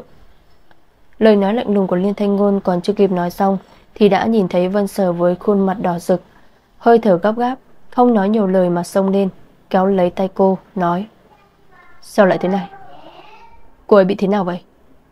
Thượng quan triệt nhìn dáng vẻ lo lắng của Liên Thanh Ngôn, Mày nhíu lại, Thản nhiên nói. Cô ấy bị bỏ thuốc, Nhanh chóng giải độc cho cô ấy. Tay Liên Thanh Ngôn đặt trên cổ tay Vân Sở, Rất nhanh chóng, Trên khuôn mặt luôn luôn lạnh nhạt, Dấy lên sự phẫn nộ. Ai lại có thể nhẫn tâm lại đi dùng loại thuốc này như vậy? Nói xong, Anh lo lắng nhìn thượng quan triệt, Nói. Anh ở lại đây chờ một chút. Tôi đến phòng tắm chuẩn một ít nước. Một lúc nữa để sờ sờ vào trong nước lạnh một chút, Để cô ấy duy trì sự tỉnh táo. Dứt lời Điên Thanh Ngôn thả tay Vân Sở ra, Xoay người đi vào phòng tắm trong phòng nghỉ, Xả nước lạnh vào một bồn tắm lớn. Trong thời tiết mùa đông giá rét, Nước lạnh xả ra mang theo một lớp sương mù, Khiến người ta nhìn thôi cũng đã cảm thấy lạnh. Nhưng mà thượng quan triệt cũng chỉ hơi nhíu mày Giao lệnh với Liên Thanh Ngôn. Nơi này cứ giao cho tôi, Anh đi lấy thuốc đi. Liên Thanh Ngôn do dự một lúc Nhìn thấy dáng vẻ thống khổ của Vân Sở, Cuối cùng vẫn xoay người đi. Thượng quan triệt đóng cửa phòng tắm lại, Cẩn thận cởi quần áo Vân Sở ra, Đặt cô vào trong nước lạnh. Trái tim đột nhiên rất đau Rất đau. Nhưng mà anh không thể không làm như vậy, Vì để cô nhanh chóng tỉnh táo lại, Anh chỉ có thể làm như vậy. Thân thể vốn dĩ đang nóng như lửa, Đột nhiên bị nước lạnh như băng bao vây. Vân Sở phát ra một tiếng thét kinh hãi. Thượng quan triệt nghe thấy trái tim cũng phải run lên. Thượng quan triệt cầm tay cô, Nhìn sự mơ màng trong mắt cô dần dần biến mất, Nhỏ giọng nói, Nhà đầu, không sao đâu. Một lúc nữa là tốt thôi. Rất lạnh. Thượng quan triệt, Anh là đồ biến thái. Giữa mùa đông Mà lại đặt tôi vào trong nước lạnh như vậy, Muốn đông chết tôi sao? Thân thể Vân Sở vẫn rất yếu ớt, Giọng nói không lớn Nhưng lại ngập tràn sự tức giận. Thượng quan triệt cười khổ Bàn tay nhẹ nhàng xoa lên khuôn mặt đầy sự phẫn nộ của cô. Ngoan, Cô lạnh. Tôi cũng rất đau lòng. Một lát nữa bác sĩ Liên sẽ đến. Lúc đó có thể ra ngoài rồi. Được, Rất lạnh. Vân sở rụt cổ, Hai hàm răng bắt đầu đánh nhau. Cái lạnh thấu xương này khiến cô cảm thấy máu trong cơ thể cũng bị đông cứng lại rồi. Vốn dĩ Vân sở định đi ra khỏi nước lạnh, Đột nhiên nhớ ra bản thân dường như bị bỏ thuốc. Một phút trước, thân thể còn nóng như lửa. Hình như còn không ngừng cọ cọ lên trên người thượng quan triệt. Nghĩ đến đây, Mặt cô lại trở nên đỏ bừng, Xấu hổ chết mất. Trời ạ, Vậy mà cô lại công khai phi lễ thượng quan triệt. Này này này, Không thể đi ra. Cho dù cô có bị chết rét, Thì cũng không thể giống như lúc trước được. Như vậy, thực sự chính là đưa dê vào miệng cọp nha. Nhìn thấy Vân Sở đang không ngừng run lên, Răng không ngừng va vào nhau, Phát ra những tiếng cốc cốc cốc Trái tim thượng quan triệt cũng như đang bị một cái gì đó giữ lại. Vô cùng khó chịu. Nhưng mà, Vân Sở lại nở nụ cười, Cho dù có lạnh muốn chết, Nhưng nụ cười của cô vẫn cực kỳ kiều diễm. Đại đại thúc, Tôi phải ở trong này bao lâu? Cô đã từng nghe nói qua, Khi một người bị dục vọng quá mạnh mẽ Mà không thể khống chế được, Thì có thể dùng nước lạnh để hạ hỏa. Ví dụ như ở cổ đại, Sau khi bị bỏ thuốc, Thì sẽ bị bỏ vào trong nước lạnh. Cô cũng không muốn ngâm trong này cả ngày. Nếu như vậy thì chuẩn bị đến nhặt xác cô là vừa. Thượng quan triệt đau lòng nhìn cô. Một lúc là được rồi. Một lúc nữa tôi sẽ làm ấm giường cho cô. Lúc đó cô có thể nghỉ ngơi thật tốt rồi. Vân Sở nhích miệng cười. Anh Anh nói, Làm ấm giường cho tôi. Thượng quan triệt nắm tay cô thật chặt, Nhìn khuôn mặt chuyển sang màu xanh tím vì lạnh của cô, Vô cùng đau lòng. Anh thực sự tình nguyện muốn cô Giúp cô giải độc, Chứ không muốn nhìn thấy cô phải chịu đựng sự khó chịu như vậy. Nhưng anh biết, Cô sẽ không hy vọng bản thân làm như vậy. Cô thanh cao hơn bất kỳ kẻ nào. Cô cũng sẽ không thích bản thân chạm vào cô. Trước khi cô trưởng thành, Cô sẽ không đánh mất sự trong sạch của bản thân. Còn anh cũng không muốn để cô phải chịu ủy khuất. Cũng may đúng lúc này, Bên ngoài truyền đến tiếng đập cửa vội vàng của Liên Thanh Ngôn. Thuốc đã chuẩn bị xong. Ôm sở sở ra ngoài đi. Thượng quan triệt thở dài nhẹ nhõm một hơi, Lấy một cái khăn tắm trắng tinh ở bên cạnh ra, Đưa Vân Sở ra ngoài. Dùng khăn tắm bao bọc lấy thân thể của cô, Ôm cô. Cảm giác được thân thể đang không ngừng run rẩy của cô, Thượng quan triệt cắn chặt môi, Bước nhanh ra khỏi phòng tắm, Đặt cô lên trên giường lớn trong phòng nghỉ, Kéo chăn qua che phủ cô cực kỳ chặt chẽ. Liên Thanh Ngô nhìn thấy dáng vẻ khẩn trương của thượng quan triệt, Cùng với dáng vẻ vân sở được bọc trong một tầng khăn tắm, Cau mày Đưa thuốc đã được điều chế vào trong kim tiêm, Lấy một viên thuốc khác đưa cho thượng quan triệt. Rót ly nước Bảo cô ấy uống viên thuốc này vào.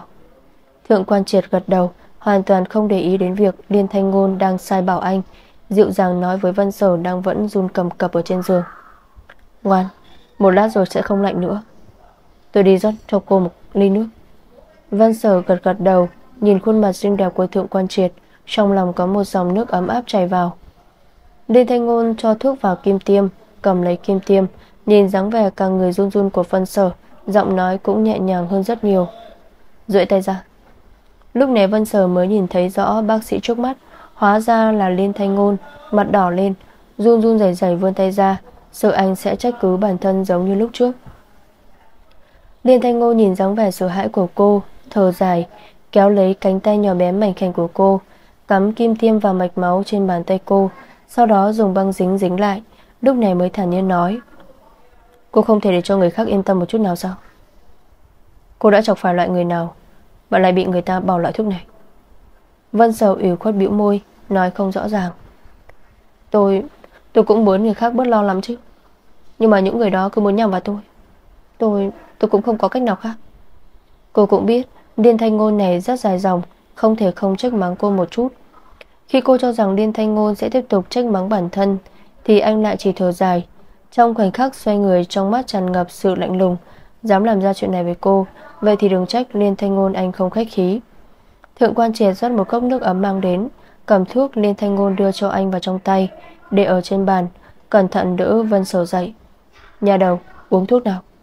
Vân Sở bị chăn quay chặt, Nhìn khuôn mặt dịu dàng của thượng quan triệt, Trong lòng vô cùng cảm động. Vẫn là đại thúc tốt nhất. Bản thân bị bắt nạt cũng không tức giận. Hơn nữa, còn đau lòng cho bản thân như vậy. Như thế này mới không giống tên khốn điên kia Chỉ biết mắng chửi người. Cô gật đầu, Đôi mắt ngập nước mơ màng nhìn anh. Thượng quan triệt lấy cốc nước lên, Cho cô uống hai ngụm để làm trơn cổ họng, Sau đó mới bỏ viên thuốc vào trong miệng cô, Bưng cốc nước lên, Cẩn thận giúp cô uống nước. Uống thuốc xong lại đỡ cô nằm xuống, Giúp cô đắp lại chăn. Nhìn ánh mắt của cô không còn mơ màng Thì mới thở dài nhẹ nhõm một hơi. Có thể là vì bị bỏ thuốc nên giọng nói của Vân Sở trở nên rất mềm yếu. Đại thúc, cảm ơn anh. Thượng quan triệt cười khẽ, Khuôn mặt yêu nghiệt trở nên vô cùng động lòng người. Cảm ơn thế nào? Vân Sở trống mắt nước anh một cái, Quyết định không thèm nhìn tên khốn Một bước một bước này, Nhìn về phía Liên Thanh Ngôn. Liên ca ca, cũng cảm ơn anh. Liên Thanh Ngôn thần nhiên niếc cô một cái, Trên mặt không có cảm xúc gì. Từ sau cô ít gây chuyện dẫn đến bị thương, Thì tôi đã phải cảm tạ trời đất rồi. Vân sở chép miệng, Nói thầm. Anh già rồi mà còn hung dữ như vậy. Từ sau tôi bị thương, Cũng không dám đến tìm anh nữa.